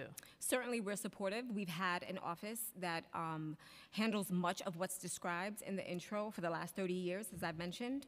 Um, we would also welcome the opportunity to talk to the council about um, some additional ways to refine the bill. Um, one of the concerns that we had was specifically around the assignment of benchmarks or potentially affirmative hiring, because we need to um, take into account the fact that City of New York is a civil service municipality, and so having specific diversity goals when you have um, a test-based system is actually something that is, is it's it's nearly impossible to navigate because at the time that you take an exam, your race and your gender aren't um, part of um, your score or your rank on a list. So certainly supportive of having the office, very happy to have the office. We also want to be sure that um, the legislation doesn't necessarily restrict the scope of the office because we take pride in over the last 30 years continuing to expand our mission to tackle issues that are timely and relevant. So we don't want to lose that flexibility um, and we want to continue to grow our service delivery to the city. It's more the importance of codifying it so that it lasts throughout administrations. But also at the same time, as was brought up earlier, we need real benchmarks. And coming out of this hearing, I'm not understanding what the benchmarks are. For example, with Vision Zero, we have a clear vision. We want to see no fatalities as a result of uh, vehicular um, accidents or car crashes. You know, when it comes to um, any of the other elements that we have in terms of MWBE participation and wanting to see that. But it seems like we have no clear goals or benchmarks as it relates to pay inequity. I, I, I further want to press upon that in terms of what are the goals or the benchmarks and how do we reach them um, if not wanting to disclose this information. And through the work that you do internally, are you internally working collectively, effectively, um, in order to root out um, issues of pay disparities or inequities, even when a case is not brought forward? Is this something that, um, through the current office that exists or others, that you're actively going through the process of righting the wrongs um, that have been happening for so many decades? Um, I would say um, there has been work that has been done um, in terms of periodic salary reviews. Um, there have been cases in which um, personal actions have been put forth, um, where requests for parity adjustments have been made. Once again, looking at a host of factors, conducting desk audits to look at work that is being performed by someone in a similar title with similar tenure, education, and experience. So yes, that work um, is really kind of an ongoing um, practice at um, agencies across the city.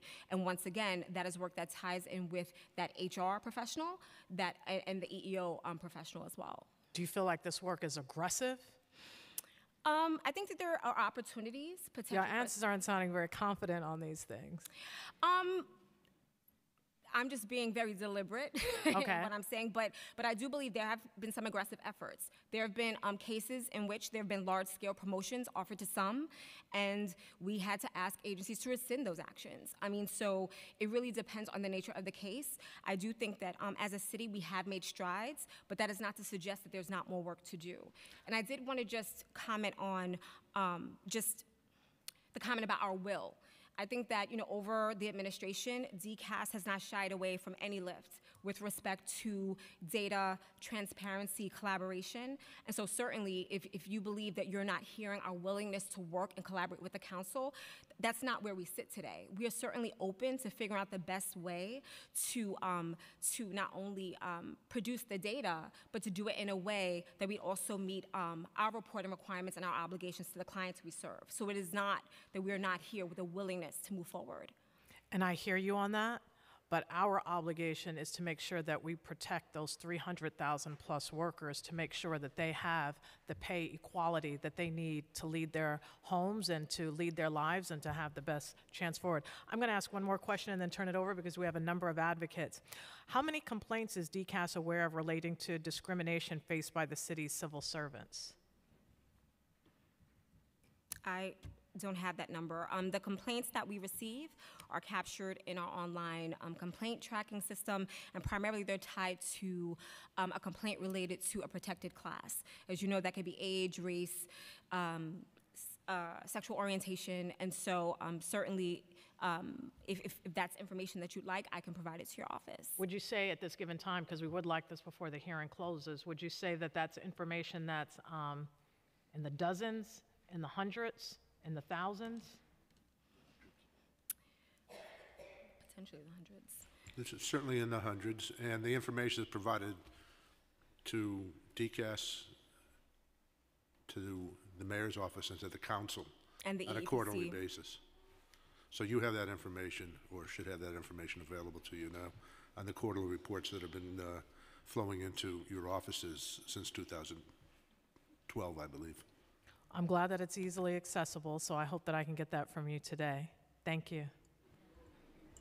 Thank you, Councilmember Cor- uh, Cumbo. And before I turn it over to my esteemed colleague over here, I just have, I, I want to go back to that data and, and, and data.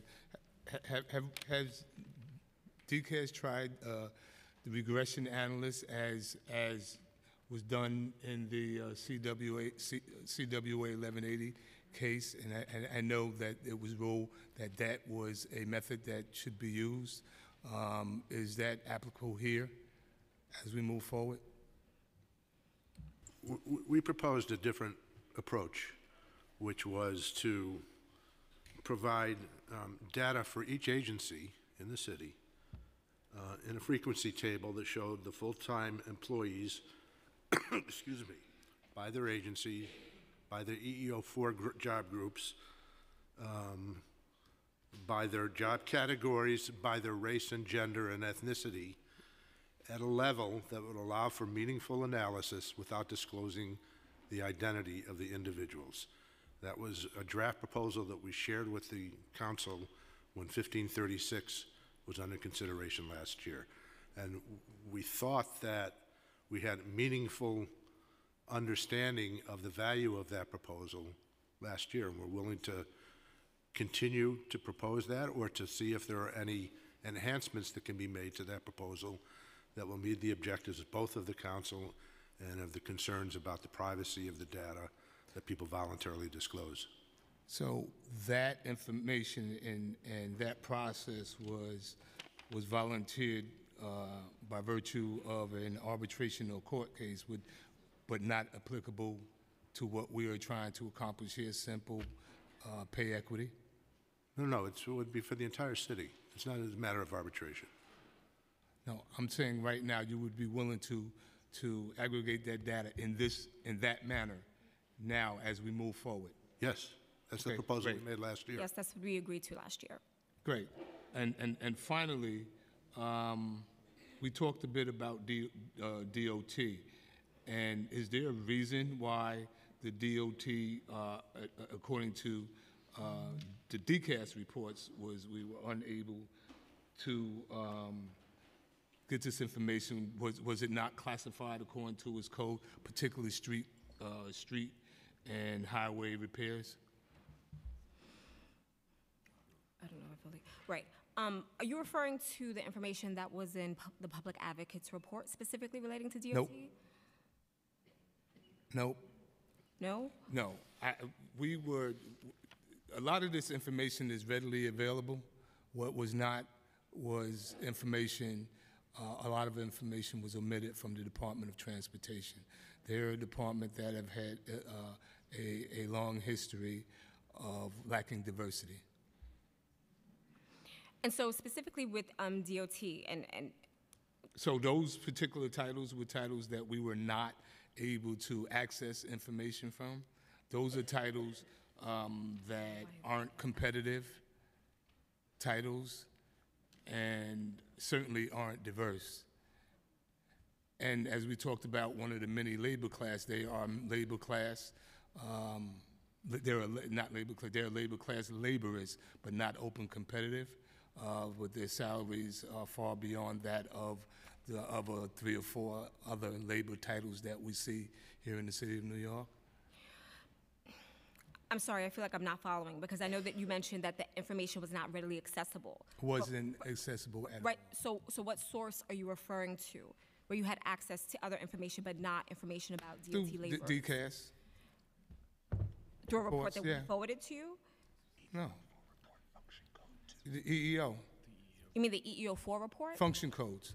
Okay, because with the EEO4 report, the information is, um, it's aggregated and it aligns with different job categories. So you would have a mixture of titles that are falling within those categories. It wouldn't speak to just one title. That information is aggregated, and that's a federal requirement. We were able to pull out information in, in, in laborers, except for in that title. In, in, in the laborer title, but not in that agency. Found it funny because that's the agency that's had a history of problems. Right, because we So collect- you know what?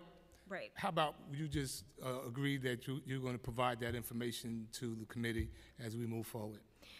I just need to have specifics on the title that you're referring to, but we collect data on every title, so So we, that's the yeah, reason why I'm because not we had this following. conversation about that title, and the question in the past was, why wasn't it a competitive title?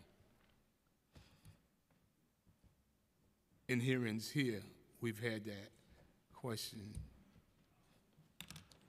Okay, so All we'll right, look so as into we it. go forward, that is somewhere where it's, it's glaringly uh, lacking of diversity, and they, uh, that is uh, kind of exactly what we're talking about today, where people do the same job or compensated differently.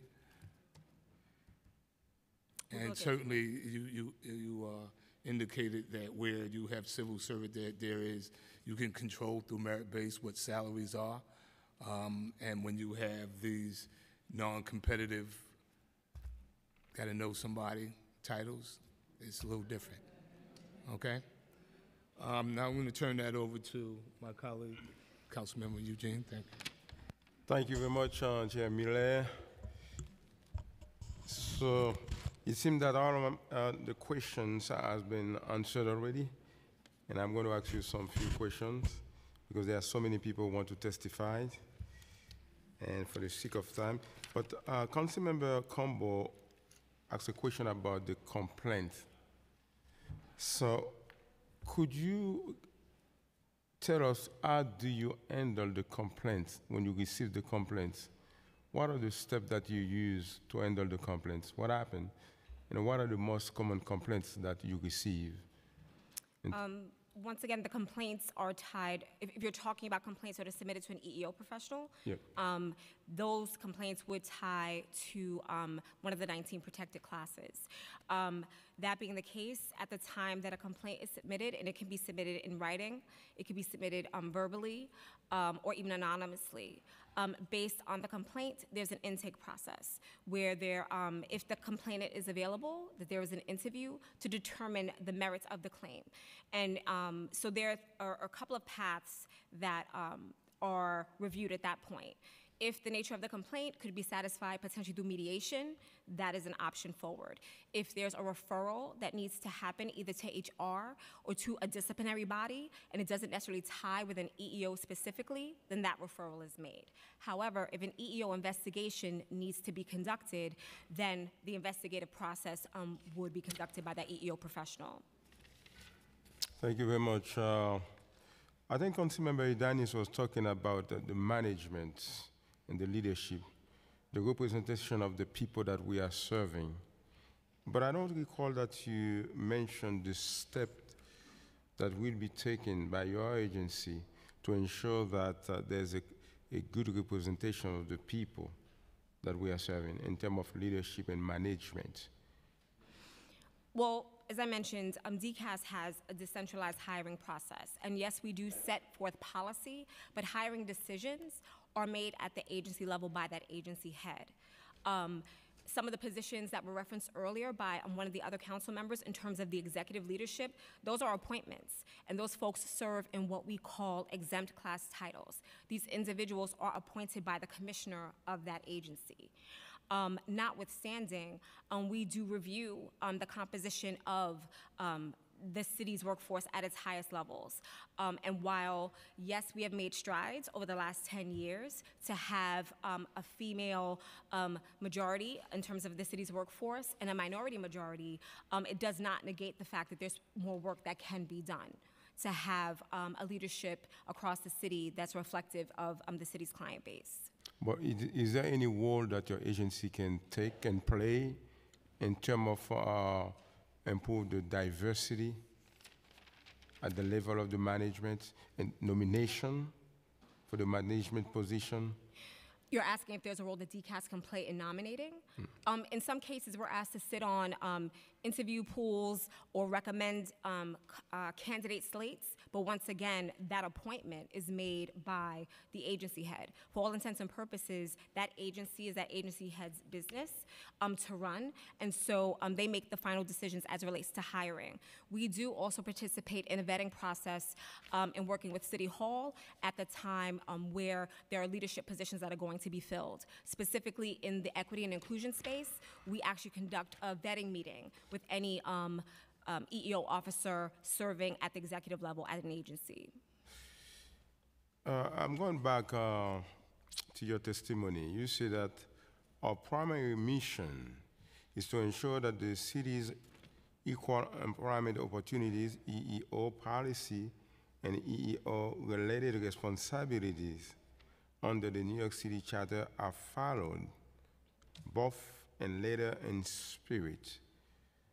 How do you ensure that uh, those responsibilities and policy are followed really? How do you ensure that happen? Well, the first thing that we do, we require, and this is mandatory, that all agencies submit a diversity and EEO plan. It's basically their annual plan where they lay out recruitment goals um, using workforce utilization information. They talk about training goals, diverse recruitment. Um, so it really runs the gamut to ensure that that agency head first and, um, and, and the EEO professional are making a commitment to having a more diverse and inclusive workforce. Um, there's also um, a policy statement that agency heads are required um, to release to their agency, committing to um, diversity and equal employment opportunity. The way we check with agencies, not only do we review their plans that they submit and we finally approve them, um, as they're providing quarterly updates, that information is shared with us as well as um, with the mayor's office and the council, highlighting their commitment to diversity and inclusion and also to make sure that um, they keep pace with the goals that they've outlined at the beginning of the year. I think that uh, you mentioned training, you know, for the you know, uh, to uh, to help agencies uh, meet their goals. But in addition to that, is there any other thing that you do to help them reach the goal and comply with uh, the requirements? Definitely, as it relates to recruitment, we review the recruitment goals that agencies have outlined. We also offer any assistance that they may need. Some agencies, um, unfortunately, don't have staffing enough to have um, dedicated recruitment um, resources, and so the Office of Citywide Recruitment, as the best as we can, we try to um, supplement that at the agency level. So what about if they don't reach the goal or they don't comply with the requirement? What is the position of DCAS? What, what are the steps? What do you do to remedy the situation? Um, with, with any goal, if, if someone um, falls short of that, we certainly meet with them to find out what barriers or issues arose that stopped them from meeting that recruitment goal. That could be, um, although they had cast a wide net, that potentially they didn't have the number of candidates that they anticipated for a particular job. So it really depends on that specific issue. So uh, could you tell us why does uh, the workforce report not offer breakdown of salary, promotion, senior position according to the race and gender? Why not? Um, I don't necessarily have a firm answer on that. The workforce profile report is actually something that's not legally required. It's something that um, DCAS originally had worked on with the mayor's office operations to really um, provide greater transparency around um, on the city's workforce. So with each iteration, we've continued to improve upon the reporting. Our first report that was released did not include DOE or H&H or SCA. Our next iteration was more of a one city report that provided um, the full breadth of titles covered by the city. Um, so certainly it's something we could look into and explore, but it was not necessarily something intentional. I'm glad that you mentioned this is a transparency issue and also accountability. And we would appreciate if you, you know, your agency, DCAS, can do any effort to make sure that we have those indication information in the report. Because it is very important for the public to know. We got to know where we are at in terms of diversity in the, in the uh, workforce in New York City. Uh, I think that's. Uh, is there any other recommendations, something that you would advise to do to ensure that the, at the level of the city and any area, you know, management, leadership, and the workforce, any recommendations, something we can do together, the CAS, the city council, the mayor office, something we can do together to work to, to ensure that we improve the diversity in terms of the workforce, in terms of the position in New York City, what would it be? I think um, I think the path that we're on um, is actually the right one in terms of understanding the importance of data. Um, one thing that we um, share with HR and ER professionals is that you need to let the data drive the work to help it inform policy and decision making going forward. I think that um, certainly there's a willingness, you know, between DCAS and the council to get to um, the right way to not only review the data but to help help it inform our collective responses to these issues. Uh, i- i- some people came to me and they mentioned that uh, they would like to, they have the qualification, they have the skill for certain position in the city, but they don't know how to navigate, what to do. So is there anything that DCAS can do because uh, to help people uh, uh, access, uh, get access to the leadership or management position? It may happen that there are people, they are qualified, they got the skill, but they don't know what to do to get access to those levels. Is there anything that DCAS can do, or is there anything that you can propose mm-hmm. in terms of helping those people, you know, from different ethnic background, different socio-economic situation, who are qualified, who could be also at the higher level? Is there anything that DCAS can do, or we can do, to help them gravitate and go to that level? Um, I think that the first step is working with the agency's career counselor. Every agency, and I believe it's a charter requirement that requires that every agency have a designated career counselor. In their respective capacity, they um, they provide a service similar to what you mentioned, helping someone to best navigate their career, whether it's through a civil service pathway or whether it's um, through um, just advancement opportunities. So I think that that's certainly a solid first step. There's another uh, very important uh, issue, a very important big step that we made in the city of New York the workers' uh, parental leave. Do the union workers, do they have that also? Um, as it stands now, um, it is for managers and original jurisdiction employees. My understanding is that potentially um, separate unions are bargaining on that issue, but, but I don't have any um, more information with respect to that. Okay. Uh, I think that's all for my question because uh, we have to go to, to the next panel. There are so many people who want to testify. And I'm sorry, if I may, we actually have the number of complaints for. I'm sorry? um, um, uh, Councilmember Cumbo had asked us for the total number of complaints for um, the third quarter fiscal year 18, so I wanted to make sure I left that with you. Mm-hmm. There were a total of 179 internal complaints made to the EEO office. How many complaints? 179. Can you give us the breakdown? The breakdown would have to be a takeaway, but I can certainly ensure you have that information tomorrow. So would you send it to our office to the I certainly will. Thank you very much. Thank you. Thank you very much to both of you for your testimony. Thank you for and your thank you time. for your time. Thank you. Just one second, please. I think that, Shamila, you have any question? Thank you. Thank you. Thank you so much again. Thank you very much. Equal opportunities. Okay. I'm just going to double check Uh, if the Equal Employment Practices Commission is the audience. Is the Commissioner of Equal uh, Employment Opportunity is in the audience, please?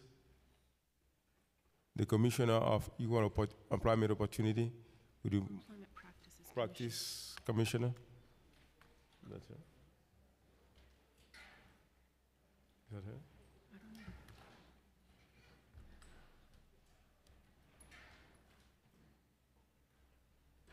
Which one? is- Practices Commission is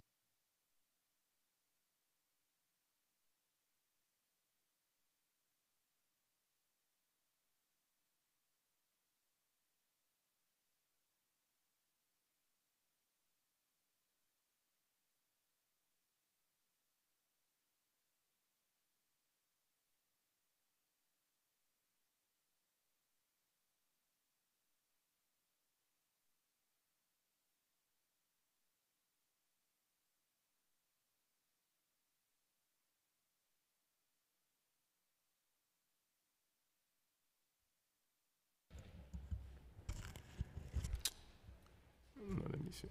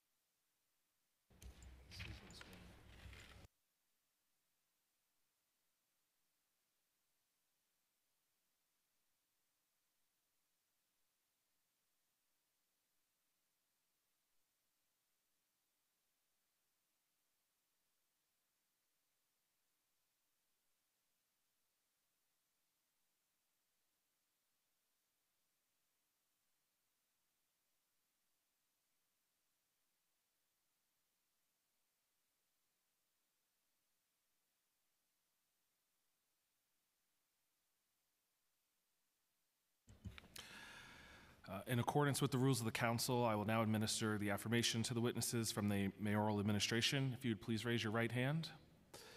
Do you affirm to tell the truth, the whole truth, and nothing but the truth in your testimony before these committees and to respond honestly to council member questions? Thank you. Can you repeat that? Are, are you saying that you're, you're doing the affirmation for mayoral testimony? I'm sorry? No. Can you repeat that? The affirmation?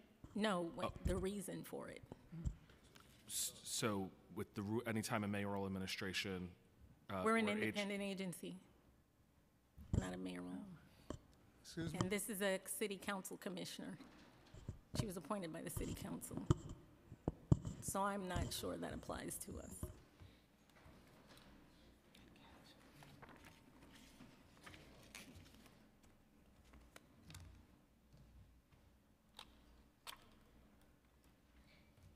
Okay, uh, in the interest of time, would you like me to focus on anything specific? Or should we start with questioning? Or should I just present this Uh, Do you have testimony? testimony? Yes. You can read it and go, yes. mhm. Okay. Good afternoon, members of the Civil Service, uh, the Committee on Civil and Human Rights. I'm Sharice Terry, the Executive Director of the New York City Equal Employment Practices Commission. This commission, represented by Commissioner Malini Daniel, appears before you today to present testimony on introduction number 0755-2018, which would require the EPC to analyze and report annually on whether agencies are meeting their racial and ethnic affir- affirmative uh, employment goals, and when not, identify the underutilized or adversely impacted group, and provide recommendations and corrective action. It would also require the EPC to report aggregate citywide and data and provide recommendations to improve diversity in recruitment, selection, retention, and promotion of city government employees for five years. Excuse me. The EPC is an independent, non-mayoral city agency empowered to monitor and evaluate agencies to ensure that they maintain effective equal employment opportunity, or EEO, for employees and applicants from protected groups.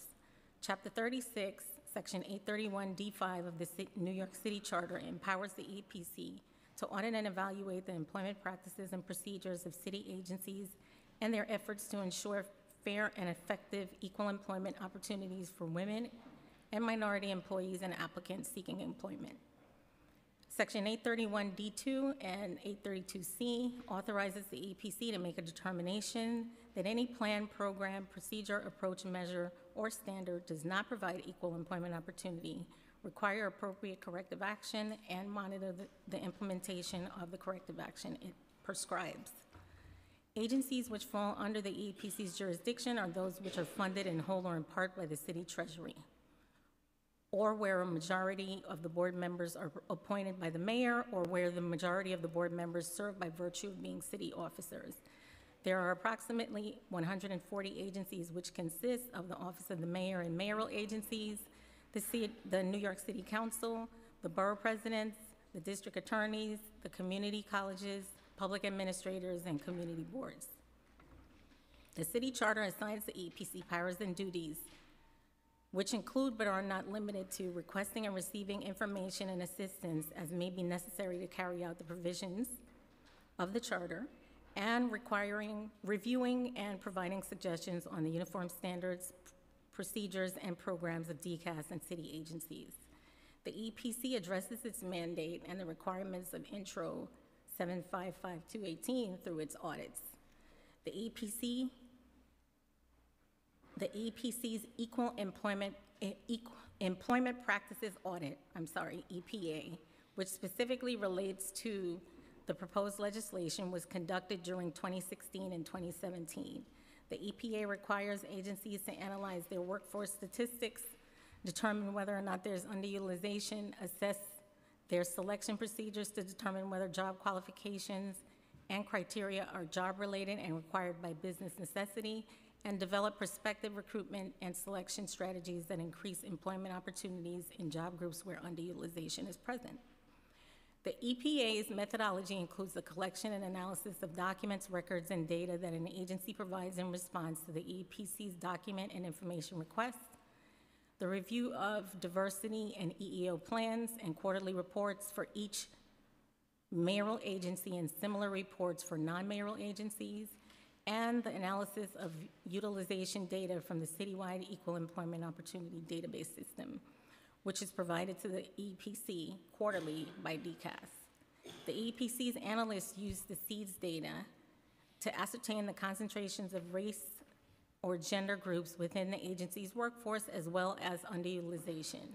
Where underutilization is revealed, the EPC's analysts assess whether an agency has undertaken measures to address it. As part of an audit, the EPC issues a preliminary determination letter, which includes an evaluation of the agency's efforts. The EPC requires corrective action if necessary and attaches the CEEDS report for reference. In 2016, the EPC initiated the automation, collection, and tracking of agencies' responses during the compliance monitoring phase of their audit via the use of TeamMate, which is an automated management software.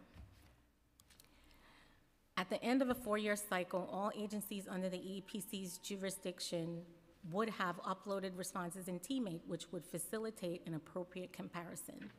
The EPC's Board of Commissioners adopts a resolution whenever a determination is issued, and again when the agency completes the charter-mandated compliance monitoring period. Currently, the EPC's resolutions, which indicate the corrective actions each agency has received and implemented, are available via the EPC's annual reports, the EPC's website, the New York City Mun- Municipal Archives and Library, and by direct request from the EPC's office through a Freedom of Information Law request. In addition, the EPC provides underlying audit documents to the Department of Records and Information Systems for the New York City Municipal Archives and Library, and in direct response to FOIL requests. In short, the EPC evaluates, monitors, and publishes workforce diversity efforts through its audits. Accordingly, under our current mandate, the EPC performs a substantial portion of what the legislation is, the legislation proposes.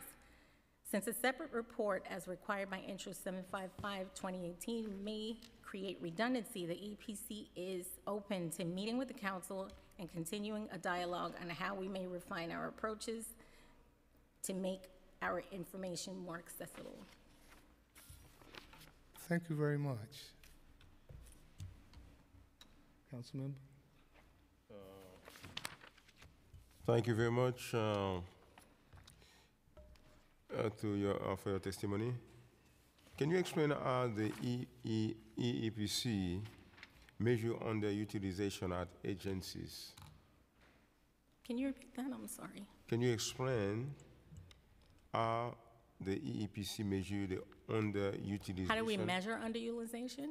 Explain, Okay, you know, the underutilization. I thought you would ask that, so I brought with me a CEEDS report. This is the, the famous CEEDS report that everyone's been talking about today. Uh-huh. Um, To protect the information, I brought the council CEEDS report so that you can look at your own. Um, Sorry, I can pass this around, but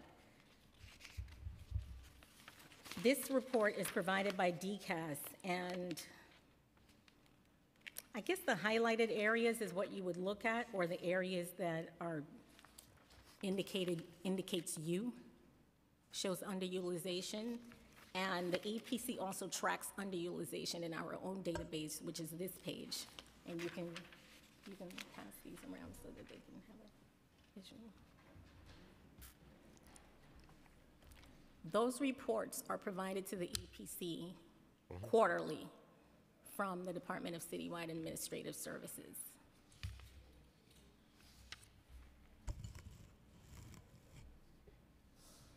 So you provide a report, but can you explain that, you know, can you explain, what can you see about, uh, So I, I don't, I gave you the report, but the areas that are marked U indicate where there's been a utilization analysis to show whether or not the agency's workforce compares to the availability data that the agency recruits from.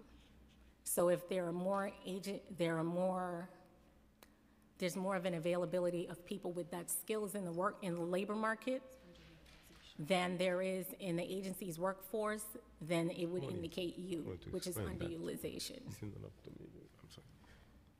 So uh, how, how the, you know, EEPC handle systemic underutilization? How do you handle that? What, what, what, uh, what has been done? How do we, You handle that, the underutilization. How do we end it? You handle it. What is the step? Hinder it? How do Yes. we hinder it? I'm sorry. Uh, Here, I brought another report of, this is an EPC's preliminary I'm sorry, you know, determination. the report, we can get it, and when we go to the office, go over it, but can, what can you say about that? So what we do is, when we find that there's underutilization, which is indicated in that report, in the employment practices audit, from the testimony I just read, what we do is, we go to the agency and we figure out how does the agency, first of all, know that they have underutilization and in what job groups? So in our preliminary determination, we will make a, a finding that the agency has underutilization or not. We monitor the agency after that to see whether or not they, the agency has conducted an adverse impact study to see if any of their selection criteria is impacting, is the reason why they have underutilization. Or we look at where they've recruited if there's an underutilization of, let's say, blacks or Hispanics, we look at where they've recruited in the, the job that has the underutilization. If they haven't recruited in, if they haven't done targeted recruitment, we recommend that they do targeted recruitment. We monitor the agency for six months, and then we see exactly where they've recruited and whether or not they've come up with a plan to remedy the underutilization. So it's all in our preliminary determinations, our final determinations, and our compliance monitoring reports, where we monitor the agencies for six months. Uh, the the data that you have collected, are they available to the public? The resolution where the commission makes a vote on what findings the EPC has made is available to the public. What's also available to the public is whether or not the agency has complied with the recommendations that we've made. These, the underlying audit documents, because they're so voluminous, are available as a part of a FOIL request, or we make them available to the city library. But the commission, what's on our website is the resolutions that the commission votes on, which tells the, the public exactly what recommendations were made to the agency.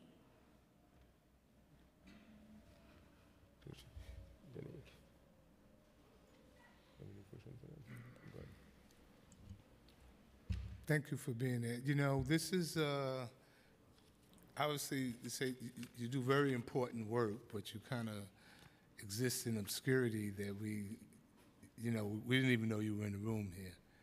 So, um, with that being said, how, how many other, are, are you overseeing any recent legislation or any other legislation? You talked about the commission and, and the work that they do, but any legislation that the, the council has passed um, over the past few years, are you working, uh, are you overseeing that or playing any role in the implementation or oversight? We were, we presented testimony on, uh, I can't remember the, the, the, the sexual harassment uh, legislation. Um, The data that we receive that you have in front of you is very important, but we do not receive aggregate complaint data. We've requested that data from DCAS and we haven't been able to get it. Um, We've also requested salary data, which we haven't been able to Which data? Salary data, Okay, the same data that you were talking about earlier. So we have, those two pieces of, uh, of data would be very helpful in our audits because, well, one, we're conduct, this year, we're conducting sexual harassment prevention audits. So that would be helpful in understanding, we get complaint data individually from agencies, but the agency would have to be under audit for us to get the data. We would prefer to get it in aggregate so that we can target our audits towards agencies that may have more complaints than others. Um, And in terms of the salary data, obviously it would be helpful in helping us understand where there's occupational segregation or where, you know, salary plays a role in, um, so what is it that facilitates your audit? I know that you're required to do annual or uh, audits. How do you determine which agency is going to be audited? Right now, primarily, we do it on a quadrennial cycle, which is dictated by the charter. So every four years, we audit the 140 agencies that are under our jurisdiction. It's just sort of a rotating cycle. Okay. However, if there is an issue, there has been, I think in the APC's history, there was maybe a request once or twice by the council uh, to audit a particular agency. I would have to look. We, we, we can also audit agencies if CCHR requests that we audit an agency. Um, Or if we see that there's a particular problem at an agency. But because we're so short-staffed, it's, we're, we're, we have a head count of 14. Um, But we don't have 14 analysts, which are the people that conduct the audits. So we usually, we're, we're on a rotating cycle, and we usually do it at- once every four years if we can get around. So to let me share this, because I, I, I know that my, my, my colleagues would concur. This is so important that when we uh, created the legislation around the online portal and the other DCAS stuff that we talked about today, in years past, that we had um, included some funding in the budget for them to hire staff to, to reduce their provisional to uh, um, workforce and, and some other things there that was attached to it. Um, Certainly, a staff of 14, it- it'd be very difficult for you to really uh, drill down on the information that is necessary to, this is that vital, you know, um, pay equity and ensuring that we have an equitable workforce that reflects the diversity and the values of the city is, is certainly um, something that's worth investing in. And- And, and perhaps, you know, um, we could offline um, between our committees and, and, and certainly sit down with the uh, speaker staff and talk about that, and, and that would be really great. Are, are, are there any examples of non-compliance that you've come across in, in audits? Yes. We always come across non-compliance. Okay, Um, rarely do we audit agencies that do not have corrective actions. It happens, but it rarely happens. Agencies that may not have corrective actions are really tiny agencies. We have desk audits that we do for agencies like community boards. Um, We've had a few agencies that have had, maybe for the, com- their complaint investigations may not have, have, have had corrective actions. But for the most part, with the employment practices audit, the, c- the one that you would be interested in, we haven't had any agencies that haven't had corrective actions. were agencies that were non-compliant. Right, non-compliant, well, non-compliant meaning, corrective action meaning that they were non-compliant in certain areas. So when, it, during our audits, we look at the distribution of the, the the EEO policies, we look at the employment practices, recruiting, hiring, and promoting. That includes underutilization and adverse impact. We look at would, career counseling. Where, where would DOE, D, DOT rank? Have you I didn't audited bring them that recently? information with me, but we have done a recent audit of DOT. Okay, Ma- I, I think actually, we just did a second audit of DOT, which may be on the, the agenda for our next commission meeting, which is, uh, in May. okay, so we, we could expect to I see would that? be able to, right, I would, And of course, FDNY would be low-hanging fruit, right? FDNY has improved. Um, That's as much as I'm, I'm gonna say about the FDNY. Okay, so, and, and, and, and basically, the audits are, are done, for the most part, just based on, uh, uh, uh, annual or bi, uh, court? Every Right, years? we, we put them on a rolling cycle, and if we haven't gotten around to auditing an agency within the past four years, then that, that agency Okay, would. and, and if, if there is, uh, s- particular interest from the council or the admin or somewhere, then, then, then you would have that audit as well? Right. I think Okay. it's written into the charter that, as requested by the council and the CCHR. Okay, so, uh, aside from the audit, whatever information data i- i- do, are you responsible for? Primarily audits. Um, We're also responsible for reviewing the, the overall process of DCAS. um, And DCAS's, I guess, measurements or standards or whatever they put forth for city agencies. We should be um, involved in, in reviewing. So we review if, let's say DCAS comes up with a new uh, format for the agency-specific plans the agencies submit. Every year, the agency, each city agency has to submit an agency-specific EEO plan. I think now they call it the Div- Diversity and EEO Plan. We would be responsible for reviewing the format that they're asking the agencies to submit it in. Um, The city agencies also submit quarterly reports on wh- how they're implementing the, the agency-specific plan. The EPC receives those Do you, s- also. do you receive those timely? No, actually, one of our most popular recommendations is that agencies are not. Don't submit the, Right. However, I would say the mayoral agencies submit, submit the quarterly plans more frequently course. than, than the non-mayorals. okay. The non-mayorals actually, I, I'm not sure whether or not, some non-mayorals submit quarterly plans. Okay. But, um, So could you, could you, just for future references, could, could the, could this committee um, have that information of what agencies are specifically aren't in compliance, have not submitted the necessary uh, reporting? yeah, I think we sent this to the committee members or maybe the chairperson. For- Our annual report has the most frequent corrective actions, and we list all of the agencies and the recommendations that they've gotten. Okay, could you send it also to the Committee on Civil Service and Labor?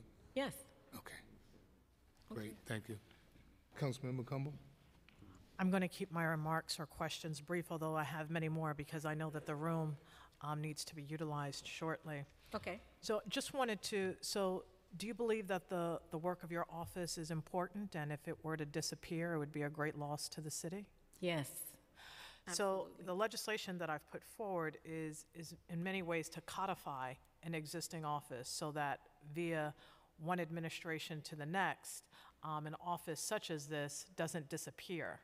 And so would you believe that it's important for this office to continue and to um, do the work despite an administration that may not feel that equity is important? Yes. Awesome, so we are on the right track there. I'm answering for the commissioner, but Well, this is good. I'll stick with this line of questioning. Um, Because this would allow the city council to conduct greater oversight over the issue and make amendments to the mandate of the office as necessary, which is important. And currently, where the differences are, there is still inadequate transparency in how the office implements and evaluates diversity policies. While the workforce report is very comprehensive, it does not track promotions and upward mobility of minorities in city government. And that information is very important, and that's part of the reason for this legislation. There are also no gender or racial breakdowns for salary brackets. So while you may feel that a lot of this work is being done under the banner of the office, there's still much more to do, and this legislation will um, empower the office to do so much more work, which is um, what I'm sure you all want to do, is to get to the heart of this matter. So that completes my questions, and I'll turn it back over to the chair. Yep, so can the uh, two committees expect that, inform- uh, the information along with the uh, uh, majority leader? absolutely.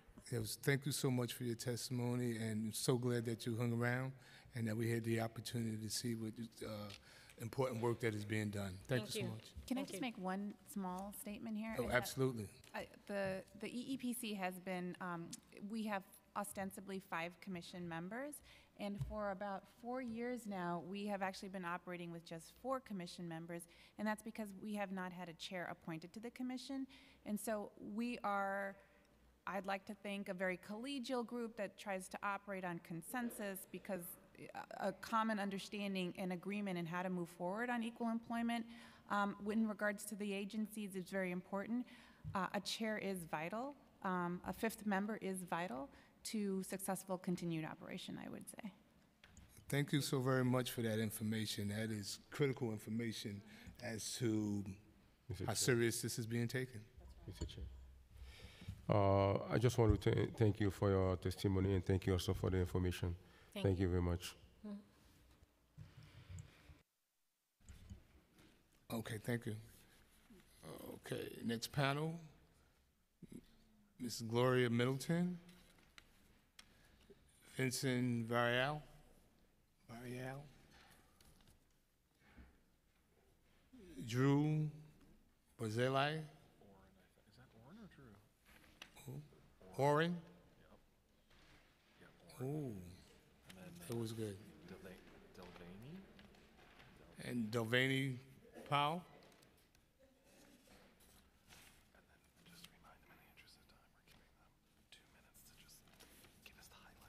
Okay.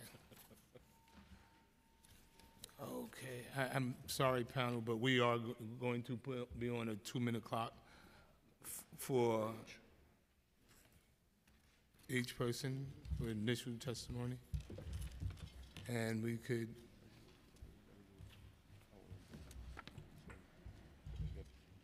Yeah, they're gonna put us out of the room real quick. Uh, we gonna- How about we begin on this end?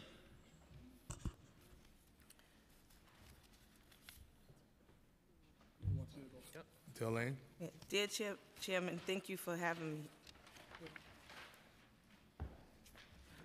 Thank you for giving me the opportunity to speak in support of Intro 633. My name is Dalvin K. Powell, President of the United Probation Officers Association. I represent more than 700 probation officers and supervising probation officers by the New York City Department of Probation and more than 400 retirees of New York City Department of Probation. We are predominantly female and predominantly of color. Our members have suffered a severe and chronic suppression of our salaries. We face unrealistic and unfair barriers to promotion and pay increases. We are undervalued compared to others who serve in law enforcement.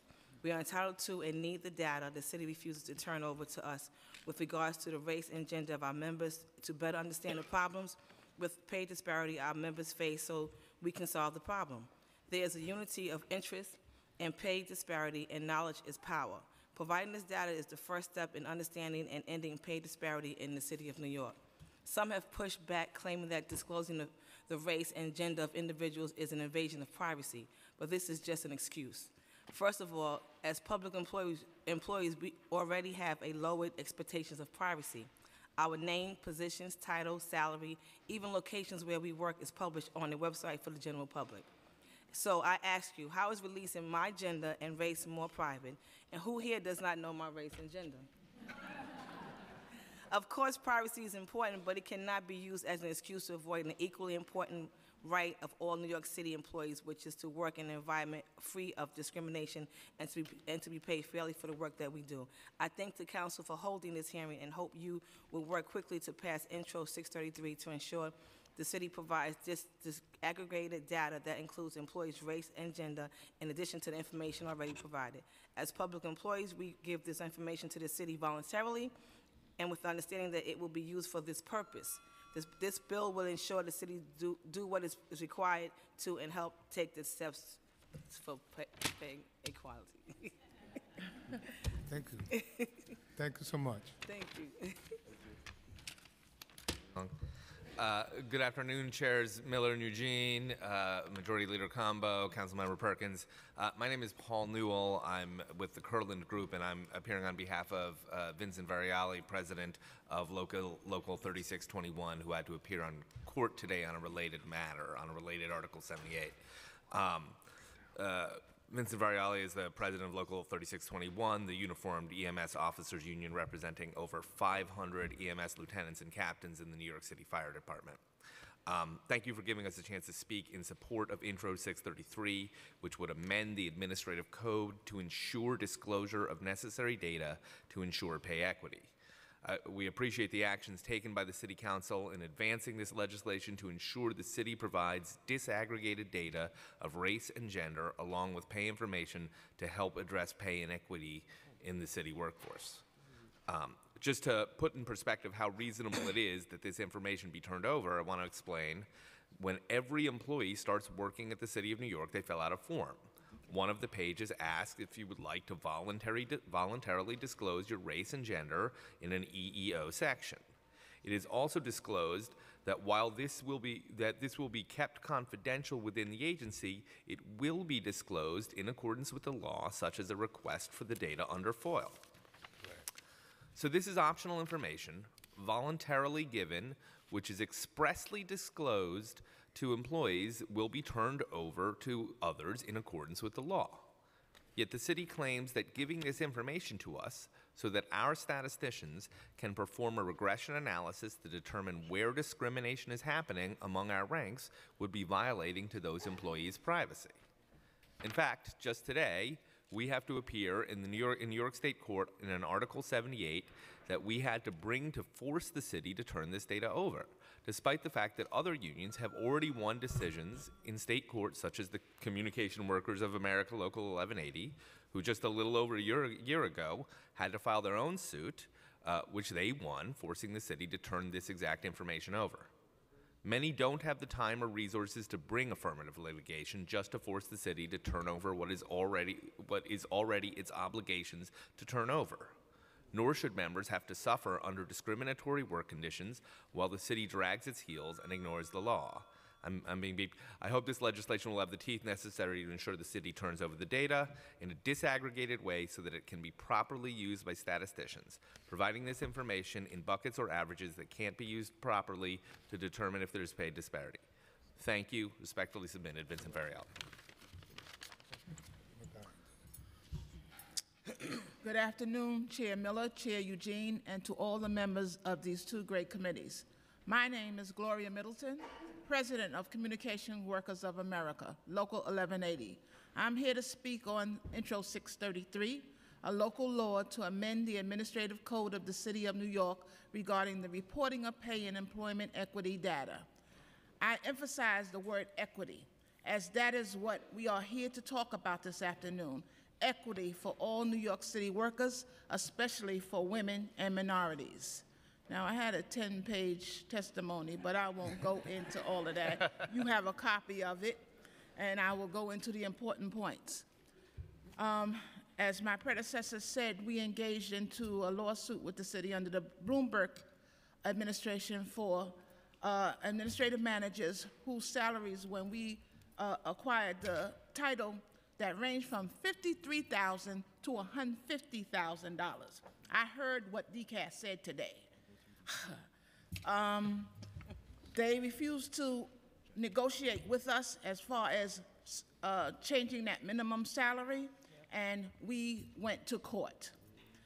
The city should lead by example and meet the standards it requires others to follow.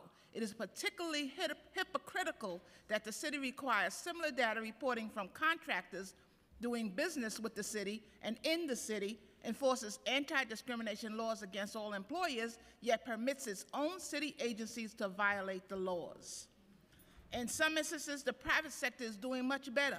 Corporations who take pay equity and racial discrimination seriously and not just rhetorically and theoretically are taking action.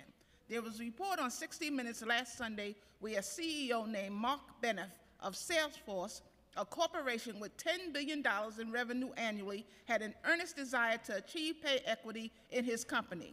He gathered the data and did an audit of his company to see if there was a persistent pay gap between women and men doing the same job. Guess what? The audit consistently showed through all departments there was a wage and pay gap for women versus men. What we suggest is that we establish a pay and equity commission that shall be under the jurisdiction of the Council's Committee on Governmental Operations. Go ahead, sister. Provide information as set forth in Intro 633 to the Council, the Public Advocate, and the Mayor on matters of pay equity. Review and analyze this list in order to eliminate gaps in pay and job equities. Recommend legislative, regulatory, and other changes to agency policies to address issues associated with pay and employment equity. The Public Advocate's report, uh, published in March of this year, regarding pay inequities in New York City's mail agencies is further proof that we need a change. Honorable Chairs Miller and Eugene, time's up. We need to make this change now. Thank you for your time. Imagine if we would have heard the 10 page report.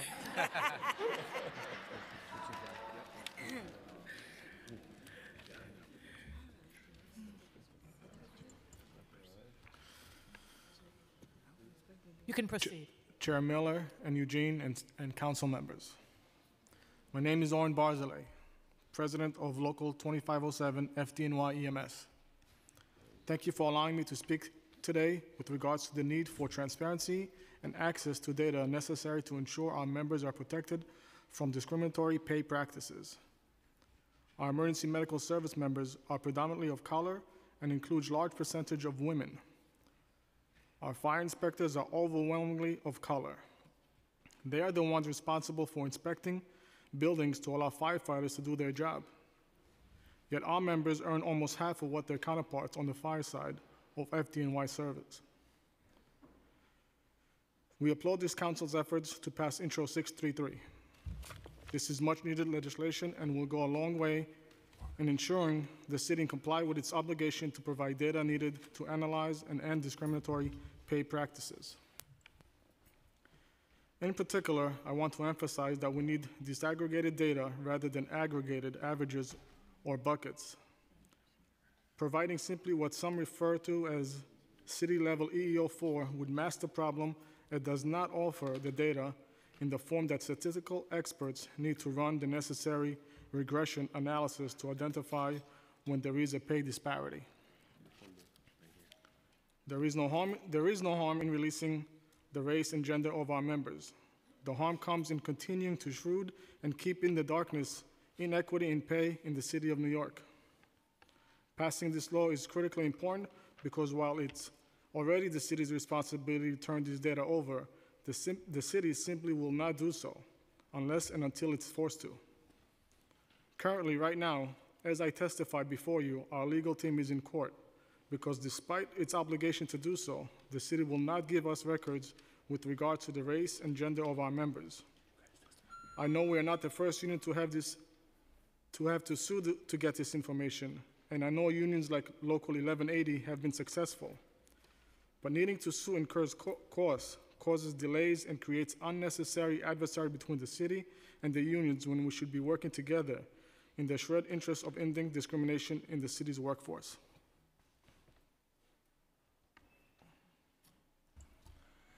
Good afternoon. Uh, Sorry, I- we just came back from the courthouse that uh, President Barzilay uh, mentioned in his uh, testimony, Uh, so I'm glad I made it back in time. I'd just like to read some uh, comments and statement. So, good afternoon, Chairman, distinguished members of the City Council. My name is Vincent Variale, and I am President of the Local 3621, the Uniformed EMS Officers Union, representing over 500 EMS lieutenants and captains of the New York City Fire Department. Thank you for giving me a chance to speak in support of Intro 633, which would amend the administrative code to ensure disclosure of necessary data to ensure pay equity.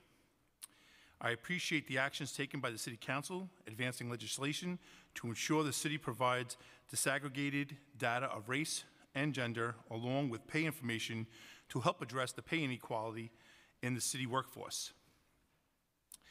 Just to put into perspective how reasonable it is that this information be turned over, I want to explain. When every employee starts working at the City of New York, they fill out a form. One of the pages asks if you would like to voluntarily disclose your race and gender in an EEO section. It also disclosed that while this will be, be kept confidential within the agency, it will be disclosed in accordance with the law, such as requests for this data under FOIL. So this op- optional information voluntarily given, which is expressly disclosed to employees, will be turned over to others in accordance with that law. Yet the city claims that giving this information to us so that the statisticians can perform a regression analysis to determine where discrimination is happening among our ranks will be violating those employees' privacy. In fact, today, we have to, we, we did appear in New York State Court on an Article 78 hearing that would had to bring, for, bring forward, uh, force the city to turn this data over, despite the fact that other unions have already won decisions in state court, such as Communication Workers of, of America, Local 1180, who just a little over a year ago had to file their own suit, which they won, forcing the city to turn this information over. Many don't have the time or resources to bring affirmative litigation just to force the city to turn over what is already its obligations to turn over. Nor should members have to suffer under discriminatory work conditions while the city drags its heels and ignores the law.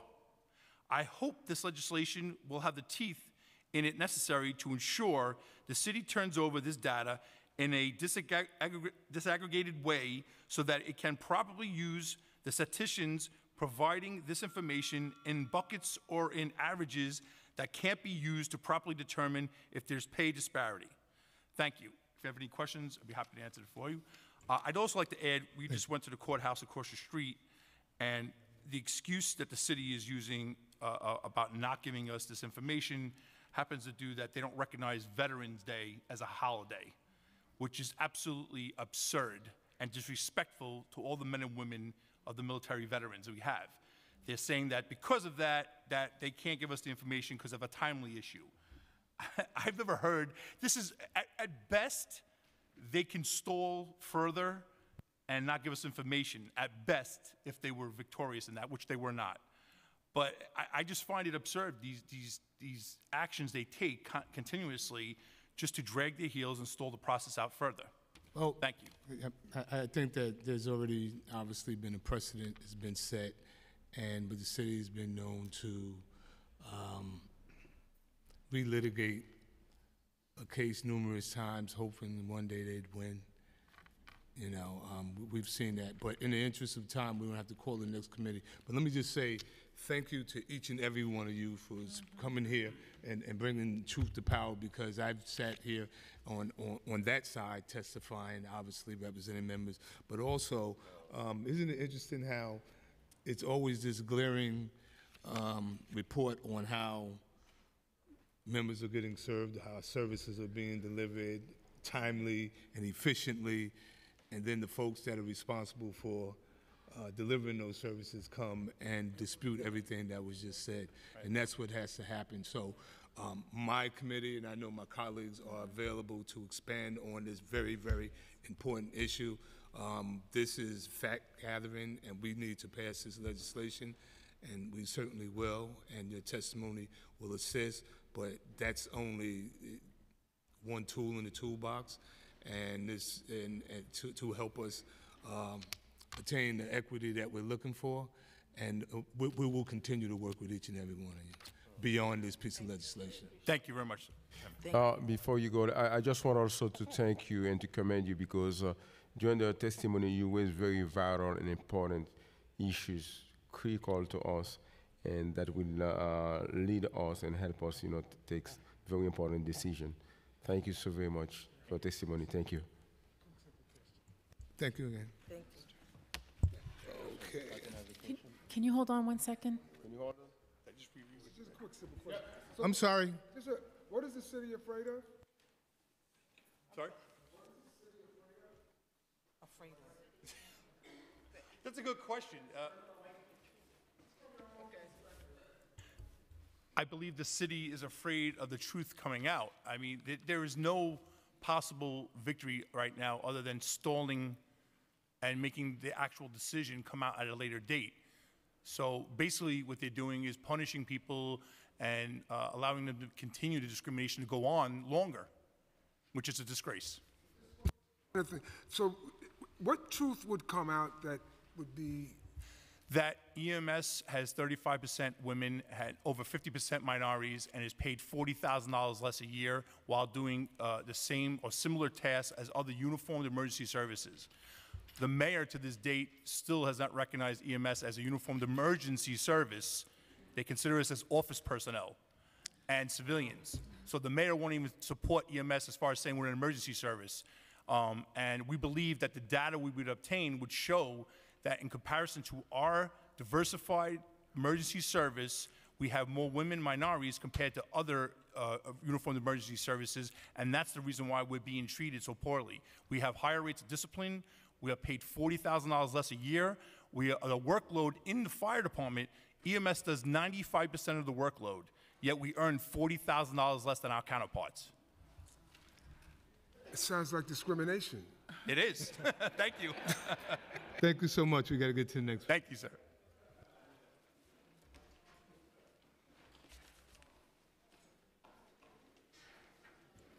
And Beverly Neufeld, Angelo Falcone.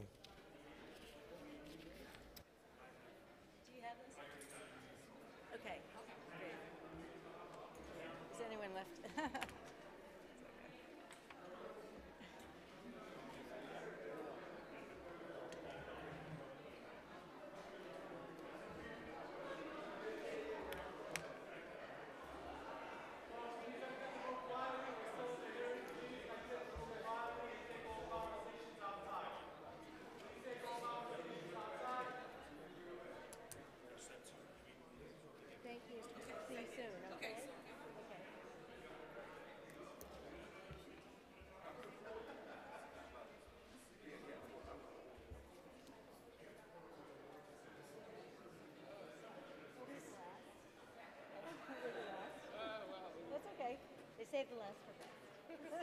the best for last. Let's get this done with.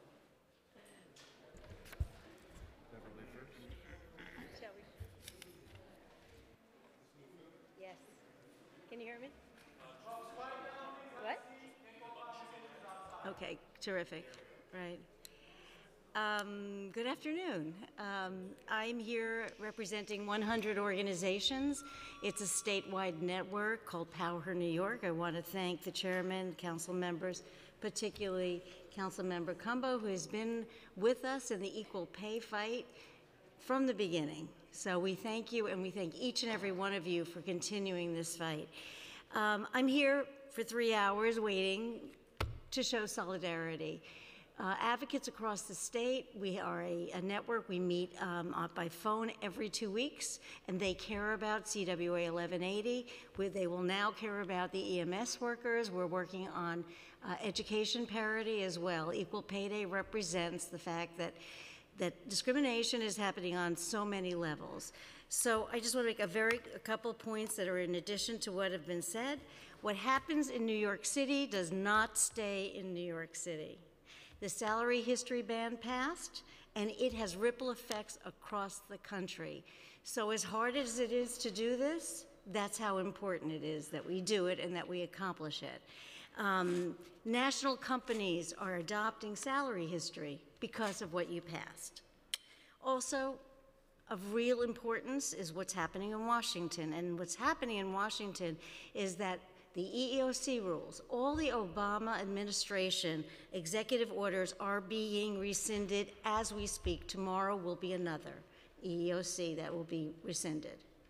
So, what you do in terms of progress, it's all about the cities, it's all about the states now. And we have to, if we're going to do any progress, it's going to happen right here in this chamber.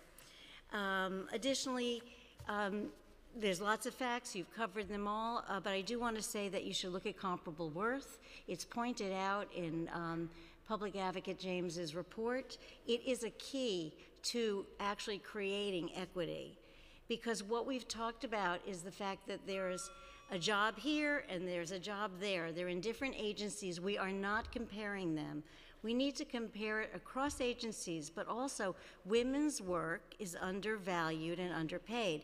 The only way we'll get at that, why women are always on the bottom of all of these curves, is if you do comparable worth analysis and we look at the value of work. Uh, lastly, um, I just want to say that um, the United Kingdom is asking every company of over, I think, 100 um, employees to report their equal pay data. the greatest corporations in the country are doing this because it's good for business. So, whatever the way we can push our city to do better on it, um, uh, we're there for you to, um, you know, to, to help. I know you um, didn't like the idea of best practices, but New York City just published this best practices guide. It's through the Commission on Gender Equity. I was part of making that happen. And in it is a mandate, a, a requirement, not a requirement, but a suggestion to all employers to do what you're asking, to look at the data, to really carefully and make a dedicated um, statement about equity from the top and at every level, at every agency. So there is a commitment from the city to do this for other employers, and there needs to be a stronger commitment for us to accomplish it, not just to talk about it on a city uh, through the city agencies. Thank you very much.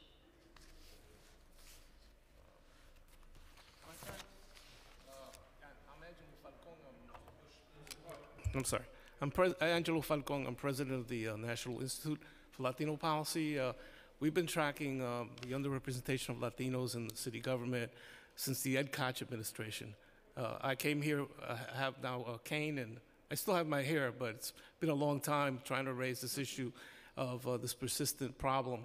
Um, our conclusion uh, after looking at uh, these issues over 30 years is that right now the uh, city agencies that you've been uh, hearing from today uh, have basically been failing at least the Latino community, and not the entire city in terms of uh, dealing with uh, effective equal employment opportunities for all people.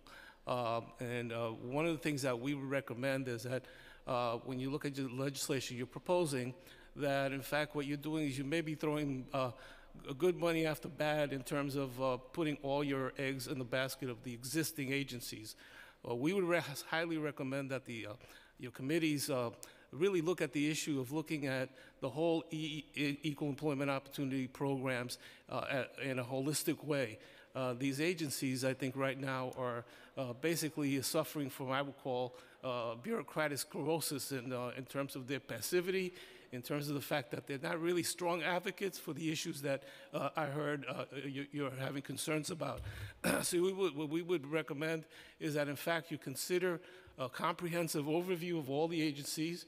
Uh, you had two of them here today, but also the Commission on Women, uh, the Gender Equity is one part of this system, uh, civil, the Civil Rights Commission as well, as well as the Civil Service Commission. I think you need to look at them as a whole. we recommend you consider developing a new agency, a new citywide agency that, in fact, would embody the kinds of uh, uh, issues that you're talking about dealing with, that deal with, that will basically look at this from a much more aggressive way than we have now. I submit that the current agencies really are not up to the task.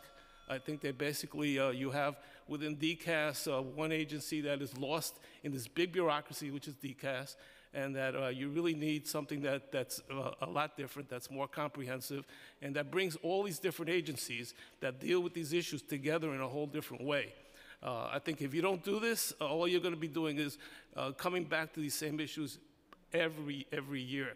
Uh, right now, the system we have now, on the last page of the uh, of the, uh, the, the testimony, uh, it, it, we try to map out the different agencies that are involved. So I think you need to take a much wider look at this issue uh, and look at it from a, from a whole different perspective than, uh, than simply uh, adding more functions to agencies that have already failed uh, in their mission. Thank you. Thank you so much for your testimony and your years of advocacy. Thank Thank you. you. You. I've, I've actually done some work with each of you, so I Yes, appreciate thank it. you so much. Appreciate your service. Thank you. And also on behalf of the committee, thank you so very much for your Thank you. testimonies. Thank you. Both of you, thank you. Okay, thank you. Uh, Shamir Settle. Jonas.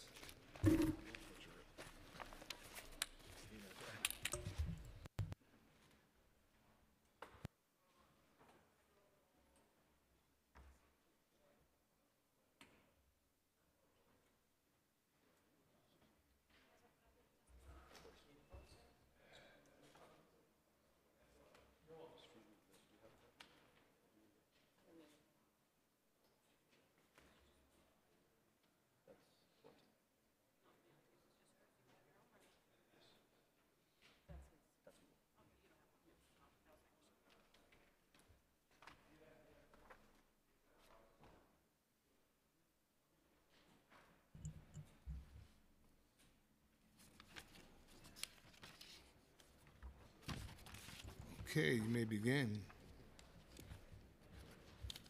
Good. Good afternoon.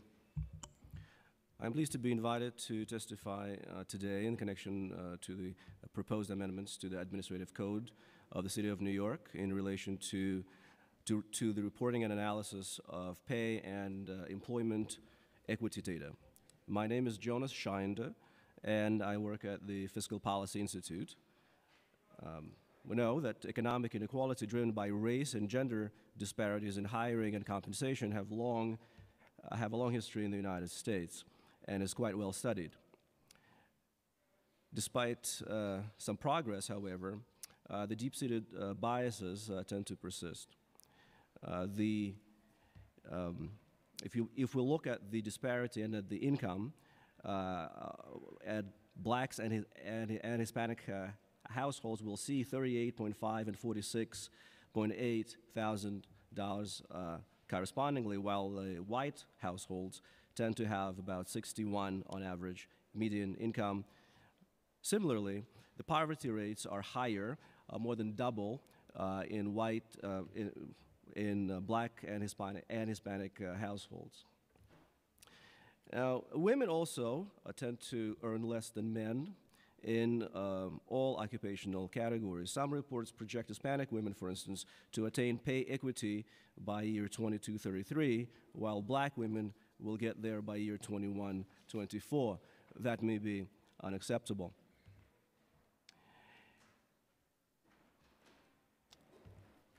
So, what uh, this law, this uh, new, new, new, new amendments uh, propose is a good development.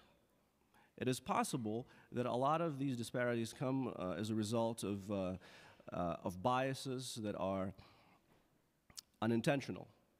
And this is why it is very important to have a pooled and centralized approach to, to the data analysis. It's important to use uh, coherent statistical techniques in evaluation to see where the problems may be so that they could be, uh, they could be rooted out. Thank you for your attention. I'm out of time, and uh, if you have any questions, I'd be happy to answer.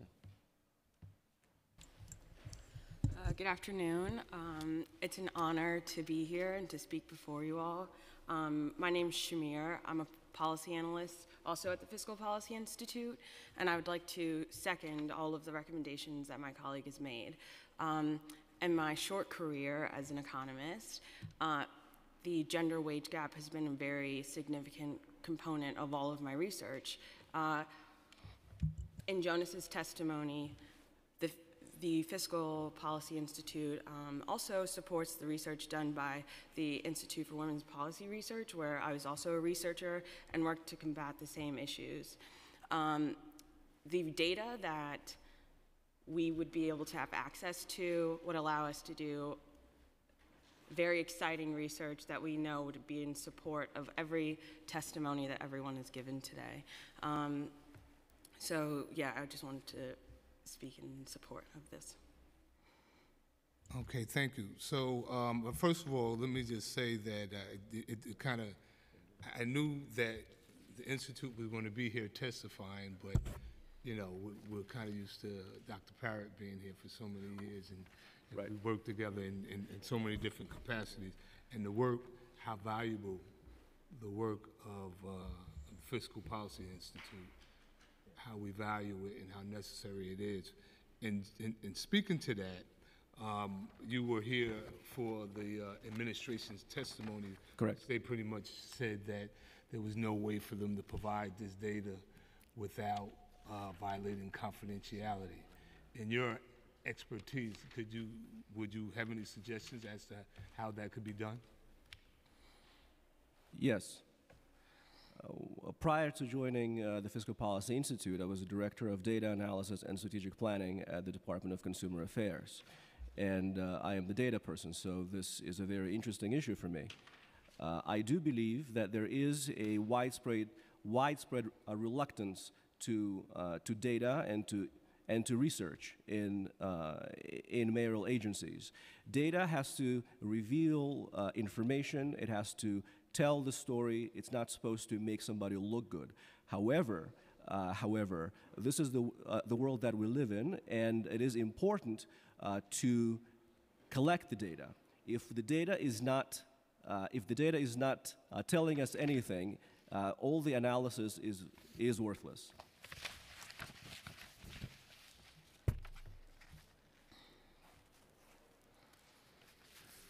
Yep. So do you think that it's possible for someone to kind of access personal information as was implied this afternoon based on the limited uh, data being provided? Yes, I would like to separate the two issues. Issue number one is analysis. Issue number two is reporting. I also worked at the Department of Finance, where we worked with taxpayer data, which is highly confidential. So, in, in the tax po- policy analysis, we would use very uh, granular, low level taxpayer data to produce important reports for other agencies, for, uh, for the journalists, et cetera. And something similar could be done in this case, where the data could be worked on by one set of uh, uh, people and reported to another set of people in a way that actually reveals what is going on. I would like to also um, mention one thing. Uh, from my experience, from my experience, I know that quite a lot of people do serve uh, outside of their category. We had quite a few people at Consumer Affairs, for instance, whose titles were community associates. They were analysts. Now, that I think is misleading. And if, if, if we start pooling the data, if we start using the data to, uh, to reveal insights, the data itself has to be properly sourced, it has to be properly captured, and the information behind the data points has to be accurate. Wow, that's so interesting. I just met with the union uh, representing those folks last week, and, and that we're talking about a title in which folks who are doing like work and not being compensated appropriately or being compensated differently based on uh, demographics that we, we've been talking about here today. And um, it, I, I want to thank you because it's so important. Yes, and we'd love to follow up with you uh, on the information that is being provided, and just to shows that what happens when you kind of stay to the very end is as good as it gets from the beginning to the end. It's just really important information? It's not just there's because there's certainly work to do beyond passing this legislation and achieving our goals. So I want to thank you so very much. Thank you very much. I am very uh, committed uh, to this issue. You can, you could rely on me as a, as a useful professional and resource for your analysis and evaluation. Thank you. Thank you very much Can I- also Thank both so of you. much. Thank you. Okay. With that, adjourn the meeting. Thank you very much to all of you for your testimony. The meeting is adjourned.